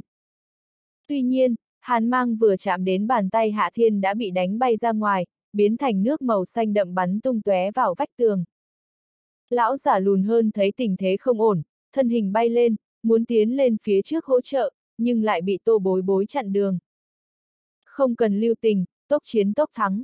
Thiếu nữ váy xanh bất mãn quát, giải quyết đám người này sớm một chút, chúng ta còn phải tranh thủ thời gian tìm tiểu thư trở về. Cơ thể hai lão giả áo bào đen bỗng nhiên phát ra từng luồng ánh sáng màu xanh chói mắt. Tô bối bối vô thức đưa tay cản lại, nhưng lại được Hạ Thiên ôm lấy vòng eo nhỏ nhắn thuấn di sang chỗ khác. Luồng ánh sáng xanh đó là gì vậy? Tô bối bối cảm giác mắt hơi nhói, nhưng rất nhanh đã được một dòng nước ấm từ bàn tay Hạ Thiên truyền đến tiêu trừ. Hạ Thiên nói, chúng ta chẳng cần quan tâm nó là cái gì. Tóm lại, nhìn cũng khiến người ta khó chịu, để ta giải quyết bọn họ. Nói xong, Hạ Thiên nhảy vọt đến trước mặt hai lão giả. Các ngươi thích phát sáng đúng không? Vậy ta sẽ để cho các ngươi phát đủ. Hạ Thiên khó chịu nắm lấy đầu hai lão giả, sau đó hợp lại, đụng cả hai vào nhau. Dừng tay! Thiếu nữ váy xanh đột nhiên biến sắc, vội vàng xông lên phía trước ngăn lại. Đáng tiếc đã muộn. Đầu hai lão giả hợp cùng một chỗ, ánh sáng màu xanh cuồn cuộn không bị khống chế bắt đầu bùng lên. Mỗi luồng ánh sáng màu xanh đều dài trăm thước.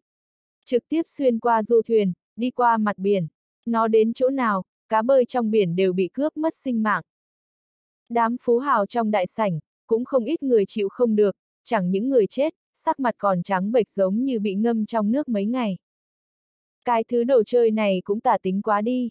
Tô bối bối cẩn thận tránh ánh sáng bùng lên, nói với Hạ Thiên, có thể để nó ngừng nháy được không? Đơn giản thôi, Hạ Thiên vẫn hờ hững như cũ. Đơn giản cái rắm, ngươi đã gây ra họa rồi có biết không?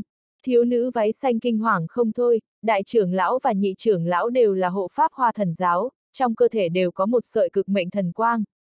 Khi tách ra còn có thể riêng mình khống chế, nhưng nếu hợp thành một chỗ, đó chính là tai nạn hủy thiên diệt địa. Thôi, người đừng chém gió nữa. Hạ thiên nhếch miệng, có ta ở đây, không có khả năng có tai nạn gì cả, huống chi chỉ là thứ ánh sáng rách nát. Thiếu nữ váy xanh cười lạnh không thôi, người hoàn toàn không hiểu được sự đáng sợ của cực mệnh thần quang. Trừ phi nó hấp thu toàn bộ sinh mệnh trong phạm vi mấy trăm dặm, nếu không, nó tuyệt đối không có khả năng ngừng lại. Nói chuyện như thật đấy. Hạ Thiên khinh thường nói, bỗng giữ chặt luồng ánh sáng màu xanh, sau đó dùng lực diệt cho ta. Ngươi đang tìm đường chết, chỉ tiếc là bổn cô nương phải chết cùng nhân loại các ngươi. Thiếu nữ váy xanh cảm thán một tiếng, biểu hiện không cam lòng, lần thứ nhất bồi tiểu thư ra ngoài chấp hành nhiệm vụ, không nghĩ đến lại rơi vào kết quả như vậy. Đúng là xuất sư bất lợi. Luồng ánh sáng màu xanh trong lòng bàn tay hạ thiên kịch liệt rung động, phát ra tiếng kêu chói tai. Tô bối bối vội bịt kín lỗ tai lại. Thiếu nữ váy xanh cũng co thành một cụm, thét lên không thôi, bởi vì nàng ta đang cảm nhận được sự đau đớn. Bành! Hạ thiên bất sở vi động bóp nát luồng ánh sáng màu xanh. Luồng ánh sáng màu xanh tiêu tán, giống như sương mù trong gió, rất nhanh không còn. Khí thức màu xanh trong đại sảnh cũng biến mất không thấy. Rốt cuộc ngươi là ai, thiếu nữ váy xanh thấy vậy, không khỏi nhìn chằm chằm Hạ Thiên, ánh mắt tràn ngập vẻ khó tin. Hạ Thiên lười biếng phủi quần áo, mỉm cười trả lời, ta tên Hạ Thiên, Hạ trong xuân Hạ thu đông, Thiên trong đệ nhất thiên hạ. Ta là thần y đệ nhất thiên hạ, cũng là cao thủ đệ nhất thiên hạ. Thế nào, có phải nghe như sấm bên tai hay không? Ngươi chính là Hạ Thiên. Thiếu nữ váy xanh đã từng nghe qua tên của Hạ Thiên, ta thua cũng không oan, nhưng ngươi đắc tội hỏa thần giáo, về sau ngươi chú định khó thoát khỏi cái chết. Hoa thần giáo là cái thứ quỷ gì thế? Hạ Thiên nhếch miệng, thái độ hờ hững, ta chưa từng nghe nói qua, là tổ chức gà rừng từ đâu xuất hiện thế.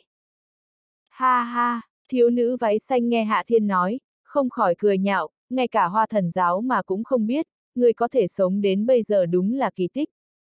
Có rất nhiều tên ngốc đã nói với ta lời này, nhưng bọn họ đều chết hết. Hạ Thiên cũng mỉm cười, trong giọng nói có chút trào phúng, khi ngươi nói ra những lời này, tổ chức rách nát của ngươi đã tiến vào tử vong đếm ngược. Thiếu nữ váy xanh bị Hạ Thiên chọc giận, cười lạnh, ta biết ngươi rất lợi hại, nhưng lợi hại thì thế nào, cũng chỉ là người mà thôi. Tuy nhiên, hoa thần giáo chúng ta lại là thần tộc, cao hơn đám nhân loại các ngươi một đẳng, giáo chủ của chúng ta còn là một trong những thần minh cổ xưa nhất trên trái đất, sống đã hơn 3.000 năm. Ngươi đang nói loạn cái gì thế? Lại còn thần tộc, tô bối bối bị lời nói của thiếu nữ váy xanh làm cho tức cười, chỉ vào hai lão giả áo bảo đen đã khô thành thân cây, chỉ dựa vào cái này. Thiếu nữ váy xanh há miệng muốn phản bác, chỉ là sự thật trước mắt khiến nàng ta thật sự không còn lời nào để nói, hừ, dù sao đến lúc đó các ngươi sẽ biết được sự lợi hại của hoa thần giáo. Ngươi cũng đừng cảm thấy ngươi có thể giết được chúng ta, chúng ta đều là hoa thần tộc, một đoạn hồn căn được cất giữ ở tổ đình. Chỉ cần tổ đình bất tử, cơ thể như thế này, qua mấy chục năm nữa có thể ngưng ra một cái mới. Qua mấy chục năm nữa mới ngưng tụ ra, vậy cũng chẳng có gì ghê gớm. Tô bối bối khinh thường nói, cái này cũng giống như chúng ta thường nói 18 năm sau sẽ là một hảo hán, cũng chẳng khác biệt về bản chất. Thiếu nữ váy xanh hừ lạnh một tiếng, bớt nhắc đến mấy lý niệm luân hồi của các người đi, cũng đừng đánh đồng với trùng sinh hoa thần tộc chúng ta. Các ngươi là giả, còn chúng ta là thật. Cái gì là thật, cái gì là giả, nói chuyện giống như thật vậy, chẳng qua cũng chỉ giấu đầu lòi đuôi mà thôi. Ánh mắt hạ thiên hiện lên sự khinh thường, nếu các ngươi quả thật lợi hại như thế, trái đất đã sớm bị các ngươi đánh chủ ý, tại sao nhân loại vẫn còn là đương gia chứ? Thiếu nữ váy xanh có chút xấu hổ trả lời, đây chẳng qua là vì linh khí trên trái đất quá mỏng manh, thần tộc chúng ta khinh thường tranh ăn với các ngươi. Chẳng qua chỉ là đoạt người, nhưng đoạt thua, sau đó chạy trốn đến lòng đất kéo dài hơi tàn mà thôi. Hạ thiên không chút lưu tình vạch trần. Ngươi đúng là không biết nói lý. Thiếu nữ váy xanh sững sờ không còn gì để nói, đành phải giả bộ cứng rắn, người giết ta đi, dù sao 18 năm sau, ta lại trọng sinh. Đến lúc đó, chỉ sợ các ngươi đều đã xuống mồ. Hạ Thiên bỗng nhiên nghĩ đến một ý kiến, ngươi không phải không muốn làm người sao. Ta lại muốn ngươi làm người, hơn nữa còn cảm nhận một lần tất cả thống khổ của con người. Đừng nói 18 năm sau trùng sinh, bây giờ ta sẽ khiến ngươi trùng sinh một lần. Ngươi muốn làm gì? Ánh mắt thiếu nữ váy xanh hiện lên sự kinh hãi. Ngân châm hạ thiên chậm rãi đâm từ đỉnh đầu thiếu nữ váy xanh đâm xuống. A! À, thiếu nữ váy xanh sợ hãi, muốn kêu lên phản kháng, nhưng vô dụng. Sau mấy giây, thiếu nữ váy xanh biến thành một tiểu cô nương nũng nịu, rụt rè, toàn thân ốm yếu. Thật là khó chịu, thiếu nữ váy xanh cau chặt mày, cảm giác toàn thân trên dưới đều không thích hợp, không khỏi mở to mắt nhìn Hạ Thiên, rốt cuộc ngươi đã làm gì ta? Hạ Thiên cười nói, không có gì, ta chỉ biến ngươi thành người mà thôi. Ngươi là sinh mệnh yếu ớt như vậy sao? Thiếu nữ váy xanh kinh nghi nói, không, không đúng, các ngươi không có yếu. Chúng ta đương nhiên không yếu rồi. Tô bối bối thản nhiên nói, bởi vì hắn biến thái, còn ta thì là người bình thường. Bây giờ ngươi đã biến thành một lâm muội muội rồi. Gương mặt thiếu nữ váy xanh hiện lên sự mơ hồ, hai tay che ngực lâm muội muội. Là có ý gì? Không có ý gì, Hạ Thiên nhếch miệng, ngươi có thể thể nghiệm một chút cái gì gọi là người đi. Hắn quay sang nói với tổ bối bối, bối nhà đầu, ở đây không còn thú vị nữa, chúng ta đến chỗ khác đi. Nói xong, Hạ Thiên ôm tô bối bối rời khỏi đại sảnh. Này, ngươi dừng lại, giải thích cho rõ ràng rốt cuộc ngươi đã làm gì ta. Thiếu nữ váy xanh cảm giác cơ thể rất nhẹ, nhưng lại rất nặng, không được tự tại, hơn nữa bên trong cơ thể giống như có vô số chứng bệnh dày vò nàng ta muốn nổi điên lên. Sau khi Hạ Thiên diệt sát hai lão giả mặc áo bào đen xong, thuận tay trả lại lực sinh mệnh cho đám người trong đại sảnh. Hắn đi được không bao lâu, đám phú hào tham gia bữa tiệc cũng dần dần tỉnh lại. Ngô chính nghiệp cũng lồm cồm bò dậy, thấy hai lão giả nằm trên mặt đất, còn có một thiếu nữ mặc váy xanh mảnh mai. Các người muốn làm gì? Thiếu nữ váy xanh cảm giác ánh mắt đám người này nhìn nàng rất không thích hợp, gương mặt hiện lên sự sợ hãi, nếu các người dám có nửa điểm bất kính đối với ta, hoa thần giáo sẽ giết hết cả nhà các ngươi. Mẹ nó, đến bây giờ mà ngươi còn uy hiếp chúng ta. Vừa rồi hạ thần y nói nàng ta hình như đã biến thành người bình thường. Đã như vậy, vậy chúng ta có cửu báo cửu, có oán báo oán. Vừa rồi nàng ta và hai lão đầu kia thiếu chút nữa độc chết chúng ta rồi. Cứ trực tiếp giết chết nàng ta cho rồi. Sau đó ném xuống biển cho cá mập ăn. Thế thì quá hời cho nàng ta. Ta hận không thể thiên đao vạn quả nàng ta. Khoan đã, các ngươi trước đừng ra tay, ta có lời muốn nói. Lúc này, ngô chính nghiệp đứng ra, ngăn cản đám phú hào đang dâng lên sát tâm, hạ tiên sinh còn chưa nói xử lý nàng ta như thế nào, chúng ta cũng không thể làm loạn. Nếu chẳng may chọc giận hạ tiên sinh, vậy thì không tốt rồi. Đám phú hào vốn lòng đầy căm phẫn, nghe ngô chính nghiệp nói xong, cả đám cũng bình tĩnh trở lại. Bọn họ rõ như ban ngày bản lãnh của Hạ Thiên. Bọn họ cũng là nhờ Hạ Thiên nên mới sống tiếp được, tất nhiên không dám nghịch lại ý của hắn. Ngô chính nghiệp mượn danh nghĩa Hạ Thiên làm việc, bọn họ cũng không tiện tiến hành trả thù thiếu nữ váy xanh. Nếu mọi người tin tưởng ta, cứ giao nàng ta cho ta xử lý. Ngô chính nghiệp cũng rất thích cảm giác cáo mượn oai hùng này. Hắn ta nói tiếp, chờ ta xin chỉ thị của hạ tiên sinh xong, ta cam đoan không để mọi người thất vọng. Nói đến nước này rồi, cho dù bọn họ không nể mặt ngô chính nghiệp, cũng phải cân nhắc thái độ của hạ thiên. Tất cả đành phải tạm thời nuốt xuống ngụm ác khí của mình. Được, vậy nàng ta giao cho ngô công tử. Một đại diện trong đám phú hào nói với ngô chính nghiệp, thuận tiện nhờ ngươi chuyển lời cho hạ tiên sinh, chúng ta rất kính nể hắn, hy vọng sau khi đến đảo Cuồng Hoan, hắn có thể nể mặt ăn một bữa cơm với chúng ta hay không? Ngô chính nghiệp gật đầu, ta nhất định sẽ chuyển lời. Đám phú hào kia chừng mắt nhìn thiếu nữ váy xanh một chút, sau đó rời đi. Các vị thông thả, lần này là sai lầm của ta mới khiến mọi người gặp nạn. Ngô mỗ nhất định sẽ bồi thường cho mọi người. Ngô chính nghiệp tiến dần mọi người, sau đó thu lại nụ cười trên mặt, yên lặng nhìn thiếu nữ váy xanh. Ngươi không cần sợ, ta không giết ngươi đâu. Ánh mắt ngô chính nghiệp hiện lên tinh quang, lại mỉm cười, ta cũng không làm gì ngươi, ngươi yên tâm. Tuy nhiên ta muốn hỏi một chút, ngươi tên gì? Thiếu nữ váy xanh đột nhiên phát hiện nàng lại sinh ra tâm trạng e ngại. Chuyện này không hề phát sinh trước đây. Nàng ta là người của hoa thần giáo, tại sao lại sợ hãi một người bình thường? Càng làm cho nàng ta cảm thấy tuyệt vọng hơn chính là, ngoại trừ e ngại, nàng còn cảm kích nam nhân trước mắt. Chuyện này quá đáng sợ. Người bớt giả bộ làm người tốt đi. Thiếu nữ váy xanh lạnh lùng nói, ta biết người có ý đồ gì, đơn giản chỉ là muốn mượn thân phận của ta liên lạc với hoa thần giáo mà thôi. Ta nói cho ngươi biết, đây chính là si tâm vọng tưởng của ngươi. Ngô chính nghiệp không nói gì, chỉ nhẹ nhàng đỡ nàng ta lên, sau đó bước ra khỏi đại sảnh. Một lát sau, Tô Bối Bối và Hạ Thiên xuất hiện lại lần nữa trong đại sảnh. Tại sao ta lại có cảm giác tiểu tử này không phải người tốt? Tô Bối Bối cau mày, hoài nghi nói. Hạ Thiên không thèm quan tâm, thản nhiên nói, hắn ta vốn không phải người tốt, cũng không cần cảm giác. Đã như vậy, người sắp xếp như thế, chẳng lẽ người còn có ý đồ gì đặc biệt sao? Tô bối bối quay sang nhìn Hạ Thiên, ánh mắt hiện lên sự khó hiểu. Hạ Thiên mơ hồ hỏi lại, ta có sắp xếp gì à? Tô bối bối ngẩn người, người không giết thiếu nữ kia, còn để cho thuộc hạ của ngươi tiếp cận nàng ta, chẳng lẽ không phải kế hoạch của ngươi? Ta chưa từng có kế hoạch gì. Hạ Thiên lười biếng ngáp một cái, cái tên ngu ngốc đó cũng chẳng phải thuộc hạ của ta. Tô bối bối lại hỏi, thế tình huống vừa rồi là? Ta làm sao biết, Hạ Thiên lắc đầu, nói với tô bối bối, không phải nàng muốn ở lại xem sao. Ban đầu chúng ta còn đang định bơi lặn trong bể bơi tầng thượng mà. Tốt, tô bối bối cảm thấy nàng đã đánh giá cao Hạ Thiên. Nàng vốn cho rằng hắn có sắp xếp nào đó, kết quả hoàn toàn không phải. Hạ Thiên chỉ là chơi chán, cho nên vung tay mặc kệ. Đối với hoa thần giáo gì đó, thần tộc gì đó, vì sao bọn họ lại mang theo tiểu thư đến đảo cuồng hoan, tất cả hắn đều không có hứng thú. Đã không có hứng thú, đương nhiên sẽ không có sắp xếp. Ta còn tưởng rằng ngươi đã khá hơn một chút, xem ra là ta đã suy nghĩ nhiều rồi. Tô bối bối xoa mi tâm, có chút đau đầu nói. Hạ thiên khinh thường nói, nàng đúng là đã suy nghĩ nhiều. Nàng chỉ cần thả lỏng một chút là được.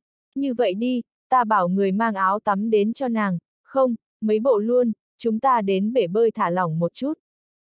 Người muốn ta thả lỏng sao? Tô bối bối chừng mắt nhìn Hạ Thiên, cũng chẳng muốn vạch trần hắn. Nửa tiếng sau, bể bơi tầng cao nhất. Nơi này cũng chỉ có Hạ Thiên và Tô bối bối.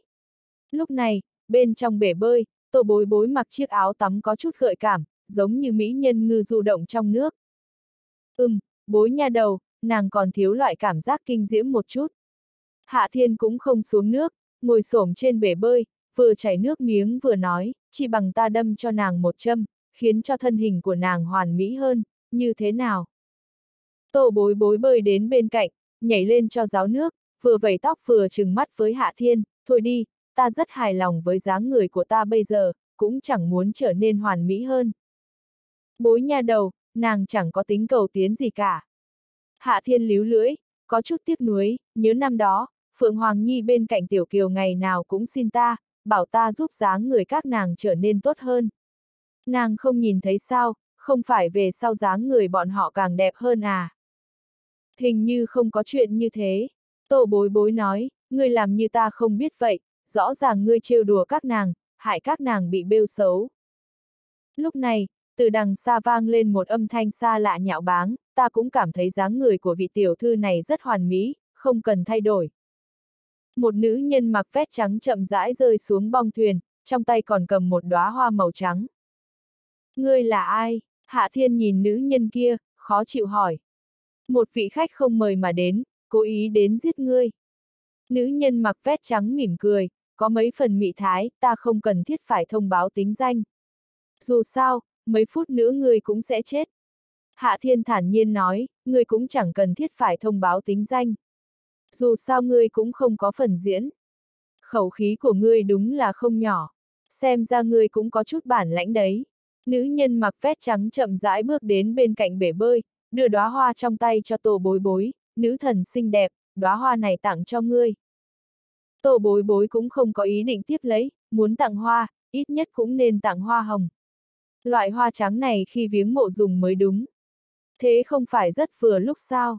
Nữ nhân mặc vest trắng mỉm cười, người nhớ cất kỹ đóa hoa này, sau đó mang ghi xuống hoàng tuyển với các ngươi.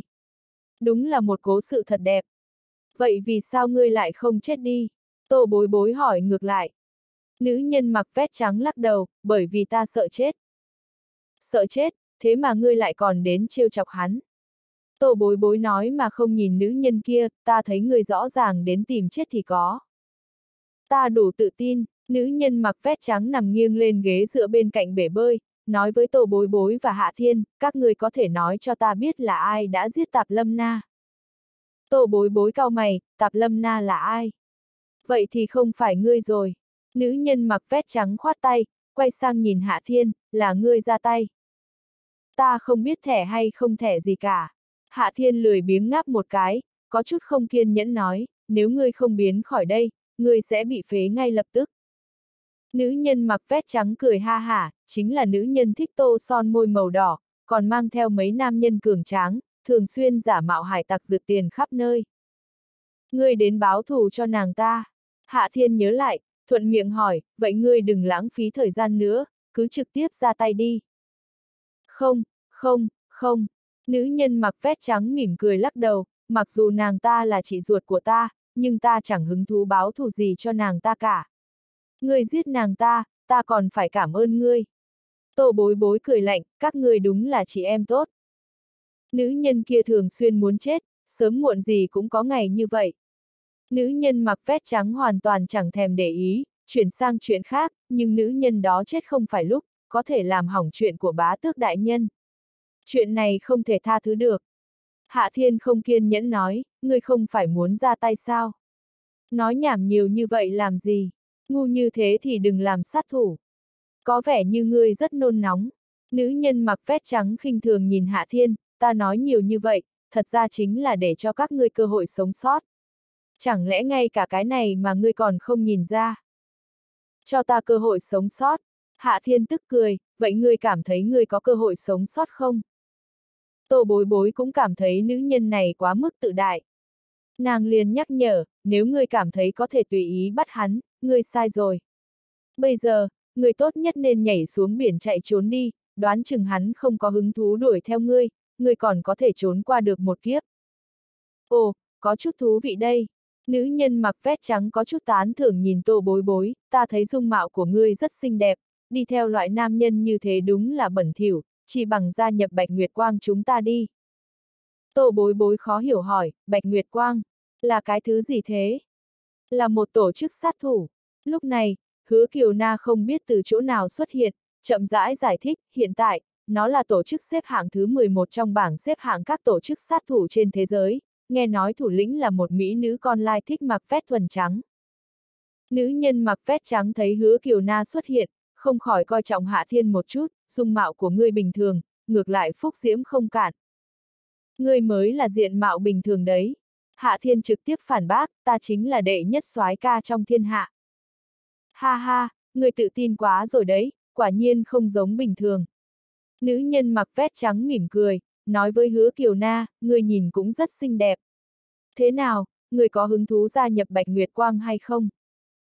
Hứa kiều na lạnh giọng đáp, ta là người của thiên kiêu, một trong những nghiệp vụ của chúng ta chính là đuổi bắt đám cuồng đầu ngoài vòng pháp luật các ngươi. Không quan trọng, cùng lắm thì ngươi kiêm chức thôi. Nữ nhân mặc vét trắng nhún vai, sau đó đứng dậy bước đến trước mặt hứa kiều na, người muốn bắt chúng ta thì lẫn vào chúng ta cho thuận tiện, người nói có đúng không? Hứa kiều na nhất thời nghẹn họng, bởi vì đối phương nói thật ra không sai, nhưng động cơ của hai bên lại khác biệt như ngày đêm. Người bớt làm bộ đi. Hứa kiều na lạnh lùng nói, có phải em gái của ta đang trong tay các ngươi đúng không? Ánh mắt nữ nhân mặc vét trắng lộ ra sự hoang mang, em gái của ngươi là ai? Em gái của ta tên hứa tiểu quân, căn cứ theo tin tức thu thập được, nó đã bị bắt đến đảo Cuồng Hoan. Hứa Kiều Na lạnh lùng nhìn nữ nhân mặc vét trắng, ta hoài nghi nó gặp phải người Bạch Nguyệt Quang các ngươi. Thật sao, nữ nhân mặc vét trắng đốt một điếu thuốc lá, hít một hơi thật dài, sau đó nhả một vòng khói nhạt vào mặt hứa Kiều Na có hình của nàng ta không? Bạch Nguyệt Quang chúng ta xưa nay không kéo người quái dị nhập bọn. Dựa theo lời đồn trên mạng, giá trị nhan sắc ít nhất cũng phải 7-8 phần. Hạ Thiên chen miệng vào, vậy nhất định không phải bị các ngươi bắt rồi. Hạ Thiên, ngươi nói vậy là có ý gì? Hứa Kiều Na bị chọc tức, nổi giận đùng đùng nhìn Hạ Thiên, ý của ngươi là em họ của ta rất xấu. Hạ Thiên nghiêm túc nói, không tính là xấu nhưng cũng không đủ trình độ 7 phần. Ồ, vậy ngươi cảm thấy nàng ta được mấy phần? Nữ nhân mặc vét trắng hào hứng nói với Hạ Thiên, so với ta thì thế nào? À, vậy thì ngươi xấu hơn nhiều. Hạ Thiên một chút cũng không uyển chuyển, mặt của ngươi là giả, ngực giả, chân giả, mông cũng giả. Có thể sống đến bây giờ, ngoại trừ may mắn, cần nhất là tố chất tâm lý. Nữ nhân mặc vét trắng đột nhiên biến sắc, bắn điếu thuốc về phía Hạ Thiên, người vội vã muốn đi đầu thai sao. Chỉ là ta không muốn lãng phí thời gian với ngươi mà thôi. Hạ Thiên không tránh không né, nhưng điếu thuốc lại văng trúng quần áo nữ nhân mặc vét trắng, còn nữa, ngươi quấy giày ta nhìn bối nha đầu mặc áo tắm, ta không đánh ngươi một trận sẽ có lỗi với mắt của ta. Tô bối bối tức đến mức muốn bể phổi, ai nói muốn cho ngươi nhìn người ta mặc áo tắm. Bây giờ là lúc nói những thứ này sao? Hứa Kiều Na có chút bó tay. Dám làm bẩn quần áo của ta, xem ra ngươi đã chuẩn bị xong việc muốn chết. Nữ nhân mặc vét trắng cúi đầu nhìn thoáng qua lỗ thủng trên áo do thuốc lá làm hỏng, chán lập tức nổi gân xanh. Hạ thiên bĩu môi, ta không khoan lỗ trên người ngươi đã là tốt lắm rồi. Bành! Nữ nhân mặc vét trắng giống như thiểm điện, nhấc chân đá mạnh vào đầu hạ thiên, phát ra tiếng vang đinh tai nhức óc. Không thể không nói, khí lực của nữ nhân này rất lớn. Ít nhất lớn hơn so với tô bối bối. Xem ra cũng không phải nhân vật đơn giản. a à, nữ nhân mặc vét trắng thấy một chiêu của mình cũng không làm gì được hạ thiên, không khỏi có chút ngoài ý muốn, xem ra, người đúng là có chút bản lãnh, có thể chống đỡ được một cước của ta, đáng giá cho người tự kiêu một khoảng thời gian. Hạ thiên lười biếng ngáp một cái, sức mạnh quá nhẹ, chẳng khác gì con ruồi, còn muốn tự kiêu. Ngươi nên tự sát đi thì hay hơn. Hừ, để ta xem ngươi có thể chịu được mấy cước của ta. Nữ nhân mặc vét trắng đã hoàn toàn bị chọc giận, hai chân bỗng hóa thành tiên ảnh đá về phía Hạ Thiên. Hai tay Hạ Thiên nút túi, giống như đi dạo, trốn tránh một cách có trật tự, không bị thối ảnh dính vào. Ta xem ngươi có thể chống được bao lâu. Nữ nhân mặc vét trắng hừ lạnh, một lần nữa tăng tốc, thối ảnh đã nhanh đến mức không nhìn thấy, chỉ còn lại tiếng xé gió lốp ba lốp bốp chấn mảng nhĩ người ta phải đau nhức. Xoẹt! Một tia chớp màu trắng sinh ra, nặng nề giáng xuống bong thuyền. Còn có thể điều khiển tia chớp. Gương mặt hứa kiều na hiện lên sự ngưng trọng, xem ra nghiên cứu trên đảo Cuồng Hoan đã tiến vào lĩnh vực siêu nhiên. Hình như ngươi hiểu rất rõ những người này. Tô bối bối bất thiện nhìn hứa kiều na, ngươi không phải muốn lợi dụng Hạ Thiên thay ngươi diệt trừ địch nhân này sao? Nói đùa, ngươi cảm thấy ta có thể lợi dụng được Hạ Thiên à? Hứa Kiều Na cười khổ, giải thích ta cùng lắm chỉ mượn gió đông của Hạ Thiên kiếm chút tiện nghi cho mình mà thôi. Tô bối bối hử lạnh một tiếng, tốt nhất ngươi đừng có dở trò. Mặc dù không đả thương được Hạ Thiên nhưng lại khiến người ta buồn nôn. Vậy còn ngươi, không phải ngươi cũng có rất nhiều động tác nhỏ sao? Hứa Kiều Na không phải không biết gì về tô bối bối, ngược lại còn biết được không ít. Tô bối bối thản nhiên đáp, ta và ngươi không cùng một loại người, đừng đánh đồng chúng ta với nhau. Ta hiểu rồi, hứa Kiều Na hiểu được sự khác nhau trong đó, nếu là như vậy, vậy thì bớt xâm phạm lẫn nhau. Ta chỉ cần Hạ Thiên giúp một chút mà thôi, ngươi không cần quá để ý. Ta không hề có ý gì với Hạ Thiên. Ngươi mà hiểu được, tô bối bối nghe xong, lập tức trợn mắt, ngươi trung thực một chút đi, đừng có rót vào đầu mình những thứ loạn thất bát tao đó. Nữ nhân mặc vest trắng bên cạnh dần cảm thấy mệt mỏi, cảm nhận được có chút không ổn. Hạ Thiên cũng cảm thấy không đủ thú vị, liền nói với đối phương, người còn chiêu thức gì nữa không? Chút bản lãnh này thì chẳng thú vị gì hết. Người khoan đắc ý đã. Nữ nhân mặc vest trắng rốt cuộc cũng biết được vì sao trước khi đi, người kia muốn nàng tạm thời đừng hành động thiếu suy nghĩ, vẫn là do nàng ta quá khinh địch, cục diện trước mặt không thể thu lại được. Hạ Thiên ung dung nói, bây giờ ngươi đừng hòng nghĩ đến chuyện chạy trốn, bởi vì ngươi trốn không thoát đâu. Ai muốn chạy trốn, nữ nhân mặc vest trắng bị nhìn thấu tâm tư, thẹn quá hóa giận, ta còn muốn lấy đầu ngươi mang về cho bá tước đại nhân xem. Nào, đầu của chúng ta ở đây đây. Hạ Thiên mỉm cười chỉ vào đầu của mình, tuy ngươi còn kém xa lắm, nhưng cố gắng một chút có lẽ có thể với tới. Có tuyệt chiêu gì thì nhanh dùng ra đi. Vậy để ta cho ngươi mở mắt một chút. Nữ nhân mặc vest trắng bỗng nhảy lên cột buồm, đứng ngạo nghễ trên đỉnh. Trên bầu trời đang có mây nhưng lại xuất hiện một mặt trăng màu trắng. Nguyệt bạch phong thanh, túc sát vô ngân.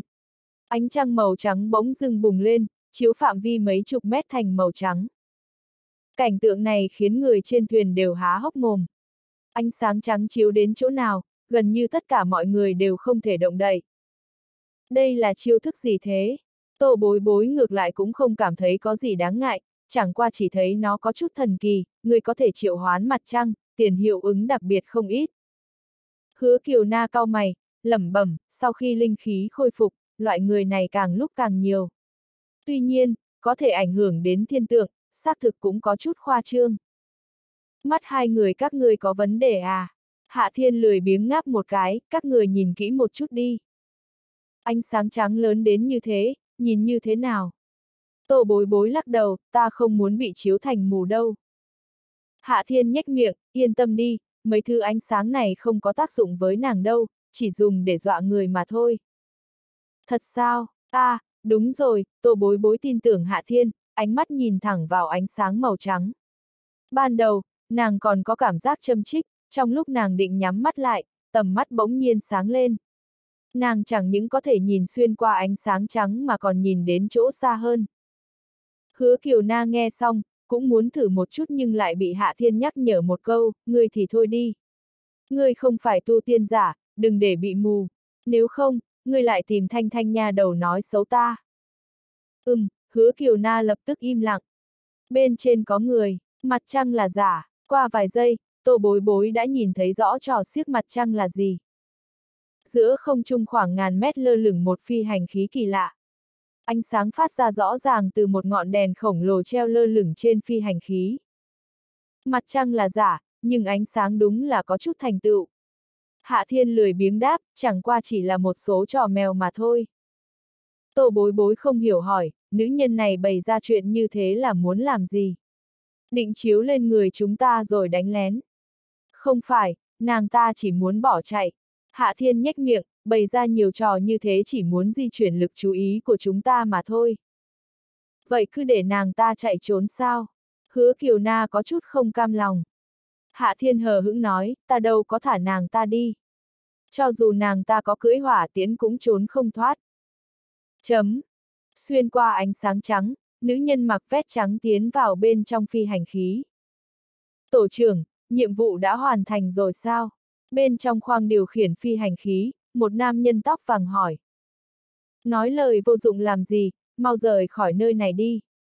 Nữ nhân mặc vest trắng nguyết hắn ta một cái, tiểu tử kia quá biến thái, trước mắt còn chưa giải quyết được. Lần sau chúng ta tìm cơ hội khác giết hắn. Nam tử tóc vàng cũng không cảm thấy đây là chuyện lớn gì, thờ ơ nói, không sao, cũng chỉ là một mục tiêu nhỏ thôi mà. Huống hồ nhiệm vụ này cũng không có thời hạn, chúng ta còn nhiều thời gian. Ta không nghĩ đến tiểu tử này lại khó chơi đến như thế.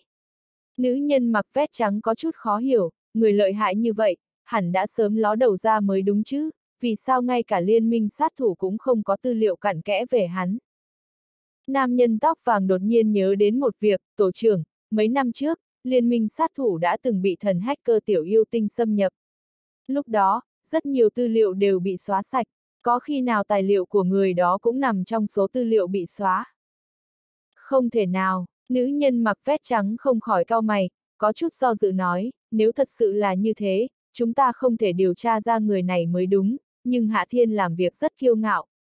Mặc dù liên minh sát thủ không có tư liệu nhưng người biết hắn lại không ít, đúng là lạ.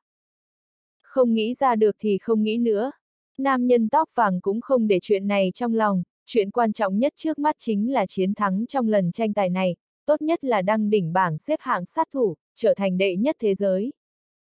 Nữ nhân mặc vest trắng lại không mưu cầu danh lợi chuyện đó, bảng xếp hạng thật ra không đáng tin cậy, chẳng khác gì bảng những người giàu nhất thế giới. Sát thủ đỉnh cấp chân chính hoàn toàn khinh thường leo lên cái bảng đó. Mặc kệ có đáng tin cậy hay không, bây giờ ông chủ đang tin vào cái bảng đó. Nam nhân tóc vàng nói, cố chủ cũng là theo cái bảng đó mà phân nhiệm vụ. Chúng ta muốn ăn chén cơm này, nhất định phải nghe theo đao nhạc đô la, rồi. Nữ nhân mặc vest trắng cũng không có quá nhiều ý kiến về vấn đề này, chỉ hỏi, hiện tại có bao nhiêu sát thủ đến đảo Cuồng Hoan? Sát thủ đăng ký ở Liên minh sát thủ đã hơn 200, thuộc hai mươi mấy tổ chức. Nam nhân tóc vàng chậm rãi đáp, tuy nhiên, chân chính có thể tạo thành uy hiếp đối với chúng ta lại chưa đến 10 người. Trong đó cần chú ý nhất chính là ám ảnh đoàn, vạn xạ uy tín lâu năm cùng với thất thánh đồ mới nổi tiếng gần đây. Thất thánh đồ xuất hiện ở đâu vậy? Nữ nhân mặc vest trắng khó hiểu hỏi, trước kia ta chưa hề nghe nói qua. Nó cũng chỉ mới xuất hiện 2 năm gần đây, còn hoàn thành mấy nhiệm vụ cấp độ SSS mà ngay cả ám ảnh đoàn cũng không nhận. Nam nhân tóc vàng mỉm cười đáp, có tin tức ngầm, nói thất thánh đồ thật ra có quan hệ với trường sinh thánh điện. Hẳn là do bọn họ đẩy ra. Trường sinh thánh điện, nữ nhân mặc vest trắng có chút kinh ngạc, đây không phải là một tổ chức tà giáo sao. Nói cái gì là theo đuổi trường sinh, thật ra chỉ là nhảm nhí mà thôi. Trường sinh cũng không phải nhảm nhí. Lúc này, bên trong buồng lái vang lên một giọng nói lười biếng, tuy nhiên, trường sinh thánh điện đúng là có chút nhảm nhí. Nữ nhân mặc vest trắng đang định nói gì đó, bỗng nhiên cảm giác không ổn, vừa quay qua đã nhìn thấy Hạ Thiên và Tô Bối Bối, các ngươi. Tại sao các ngươi lại lên đây được? Ngươi lên như thế nào thì chúng ta lên như thế đó thôi. Tô Bối Bối tùy ý nói, không thể không nói, phi hành khí này của các ngươi cũng không tệ lắm. Tuy nhỏ một chút nhưng còn dễ chịu hơn so với khoang máy bay hạng nhất. Nam nhân tóc vàng cũng giật cả mình, thiếu chút nữa đã điều khiển phi hành khí lao xuống biển. Sau khi ổn định lại, hắn ta lập tức móc súng, các ngươi là ai? Đừng dùng mấy thứ đồ chơi này với ta. Hạ thiên tiện tay vò khẩu súng thành một đống sắt vụn. WTF, nam nhân tóc vàng như nhìn thấy quỷ, ngươi là đại lực sĩ sao? Đây là súng ngắn đặc chế, bên trên còn khảm. Hạ thiên lườm hắn ta một cái, câm miệng, ngươi lo lái máy bay của ngươi đi. Đây không phải máy bay, đây chính là phi hành khí ta mới cải tạo ra. Nam nhân tóc vàng thấy Hạ Thiên nói phi hành khí của mình thành máy bay, lập tức tức giận. Đáng tiếc bị Hạ Thiên trừng mắt, đành phải im miệng lại. Hạ Thiên lạnh nhạt nói với nữ nhân mặc vest trắng, ta có một số vấn đề muốn hỏi ngươi. Ta từ chối trả lời vấn đề này. Nữ nhân mặc vest trắng lạnh giọng nói, đừng tưởng rằng các ngươi đuổi đến đây thì có thể muốn làm gì thì làm. Muốn chém muốn giết, muốn dóc thịt thì các ngươi cứ tự nhiên nhưng đừng hòng moi được bất cứ tin tức gì từ trong miệng của ta.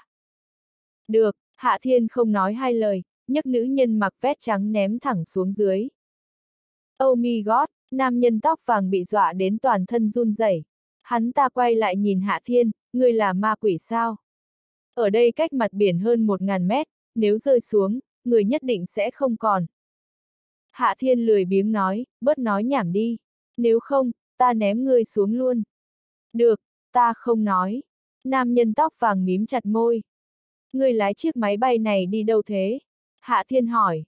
Đây không phải bay, à, lái đến đảo cuồng hoan. Nam nhân tóc vàng đáp. Hạ thiên tùy ý nói, vậy là được, lái an toàn đến đảo, ta sẽ không giết ngươi. Được, không thành vấn đề. Nam nhân tóc vàng liên tục gật đầu, người yên tâm đi, mặc dù ta cũng là sát thủ nhưng nghề chính của ta là phi công. Các loại máy bay như máy bay chiến đấu, phi hành khí. Tô bối bối nghe đến phát phiền, câm miệng. Được. Rất nhanh, nam nhân tóc vàng chở Hạ Thiên và tô bối bối đến trên không đảo Cuồng Hoan. Cái gọi là đảo Cuồng Hoan, thật ra nó cũng chẳng phải một hòn đảo, mà là một dãy các hòn đảo, khoảng hơn 20 cái to to nhỏ nhỏ. Đương nhiên, lớn nhất trong số đó chính là đảo Cuồng Hoan, cũng là nơi ở của chủ nhân hòn đảo, bá tước Cuồng Hoan. Bên trên đảo Cuồng Hoan không tiếp nhận bất kỳ phương tiện giao thông nào đến gần. Nếu có người làm trái, trên đảo sẽ dùng đạn pháo trực tiếp oanh kích. Phương pháp duy nhất lên đảo chính là đi từ hòn đảo khác sang. Đảo Cuồng Hoan và đảo nhỏ chung quanh đều có cầu kết nối với nhau. Tuy nhiên, những cây cầu này đều được treo lên, mỗi ngày chỉ hạ xuống vào lúc 6 giờ chiều, hơn nữa thời gian hạ cũng chỉ có nửa tiếng. Thế nhưng, những hạn chế này đối với Hạ Thiên và Tô Bối Bối chỉ là thùng rỗng kêu to. Bọn họ hoàn toàn có thể nhảy từ phi hành khí nhảy xuống, đổ bộ lên đảo, sau đó xử lý gã bá tước cuồng hoan. Chỉ là không cần thiết phải như vậy. Hạ Thiên cũng không phải đến giết bá tước cuồng hoan, mà là thất thánh đổ gửi khiêu khích đến hắn, còn muốn tiêu diệt ám ảnh đoàn. Hắn đến là để giải quyết đám sát thủ đó, thuận tiện đặt vững vị trí của ám ảnh đoàn trong giới sát thủ thế giới. Cho nên, điều đầu tiên cần làm chính là tiếp cận thành viên ám ảnh đoàn trên đảo, tìm hiểu tình huống của đoàn trong thời gian vừa qua. Phi hành khí đậu lại một hòn đảo nhỏ khá độc đáo. Hai vị, đã đến đảo cuồng hoan rồi, ta có thể đi được chưa? Nam nhân tóc vàng giơ hai tay lên, hoảng sợ hỏi. Hạ thiên đáp, không còn việc của ngươi nữa, cút đi. Nam nhân tóc vàng mở cửa khoang, rất nhanh biến mất chẳng thấy đâu. Ngươi không giết hắn để chấm dứt hậu hoạn sao? Tô bối bối hỏi. Chỉ là một phế vật, tính là hậu hoạn gì? Hạ thiên khinh thường nói. Tô bối bối khó hiểu hỏi, vậy kế tiếp chúng ta nên làm gì? Thấy Hạ Thiên không trả lời, nàng lại hỏi tiếp, đúng rồi, vì sao ngươi đến hòn đảo này? Ta đến để tham gia tranh tài sát thủ gì đó. Hạ Thiên kéo tô bối bối ra khỏi phi hành khí, tản bộ trên hòn đảo nhỏ, tuy nhiên, ta muốn tìm ám ảnh đoàn, gặp thành viên trong đoàn trước. Tô bối bối cảm thấy thú vị, tổ chức tranh tài của giới sát thủ, lại mời nhiều phú hào như thế, lão bá tước kia vẫn rất chịu chơi. Bối nhà đầu, ta cũng rất chịu chơi, nàng có muốn thử một chút hay không? Hạ thiên cười nói. Biến, tô bối bối chừng mắt nhìn hạ thiên, đầu óc của ngươi lại nghĩ đến chuyện không tốt rồi. Ta nghĩ là chuyện tốt mà. Hạ thiên đàng hoàng trả lời, sau đó kéo tô bối bối tiến vào một khách sạn trên đảo. Tất cả tài sản trên đảo Cuồng Hoan đều thuộc về bá tước Cuồng Hoan. Lần này, hắn ta tổ chức tiệc mừng năm mới. Tất cả những người được mời đến đảo đều là những người có lai lịch lớn. Cho nên, tất cả các khách sạn trên đảo đều miễn phí phục vụ. Chỉ cần đăng ký tên là được, thậm chí tên cũng có thể nói bừa một cái, cũng chẳng có ai kiểm chứng. Hơn nữa, một khi phòng đã được đăng ký, nó sẽ được khóa lại. Trừ phi ngươi rời đảo, nếu không, cho dù ngươi không ở, nó cũng vẫn sẽ để trống. Ta muốn thuê một phòng. Hạ Thiên không quanh co lòng vòng, đến thẳng quầy tiếp tân. Nhân viên tiếp tân nhìn Hạ Thiên và Tô Bối Bối, sau đó nói, xin chờ một lát. Tô Bối Bối hơi đỏ mặt, cảm giác không được tự nhiên.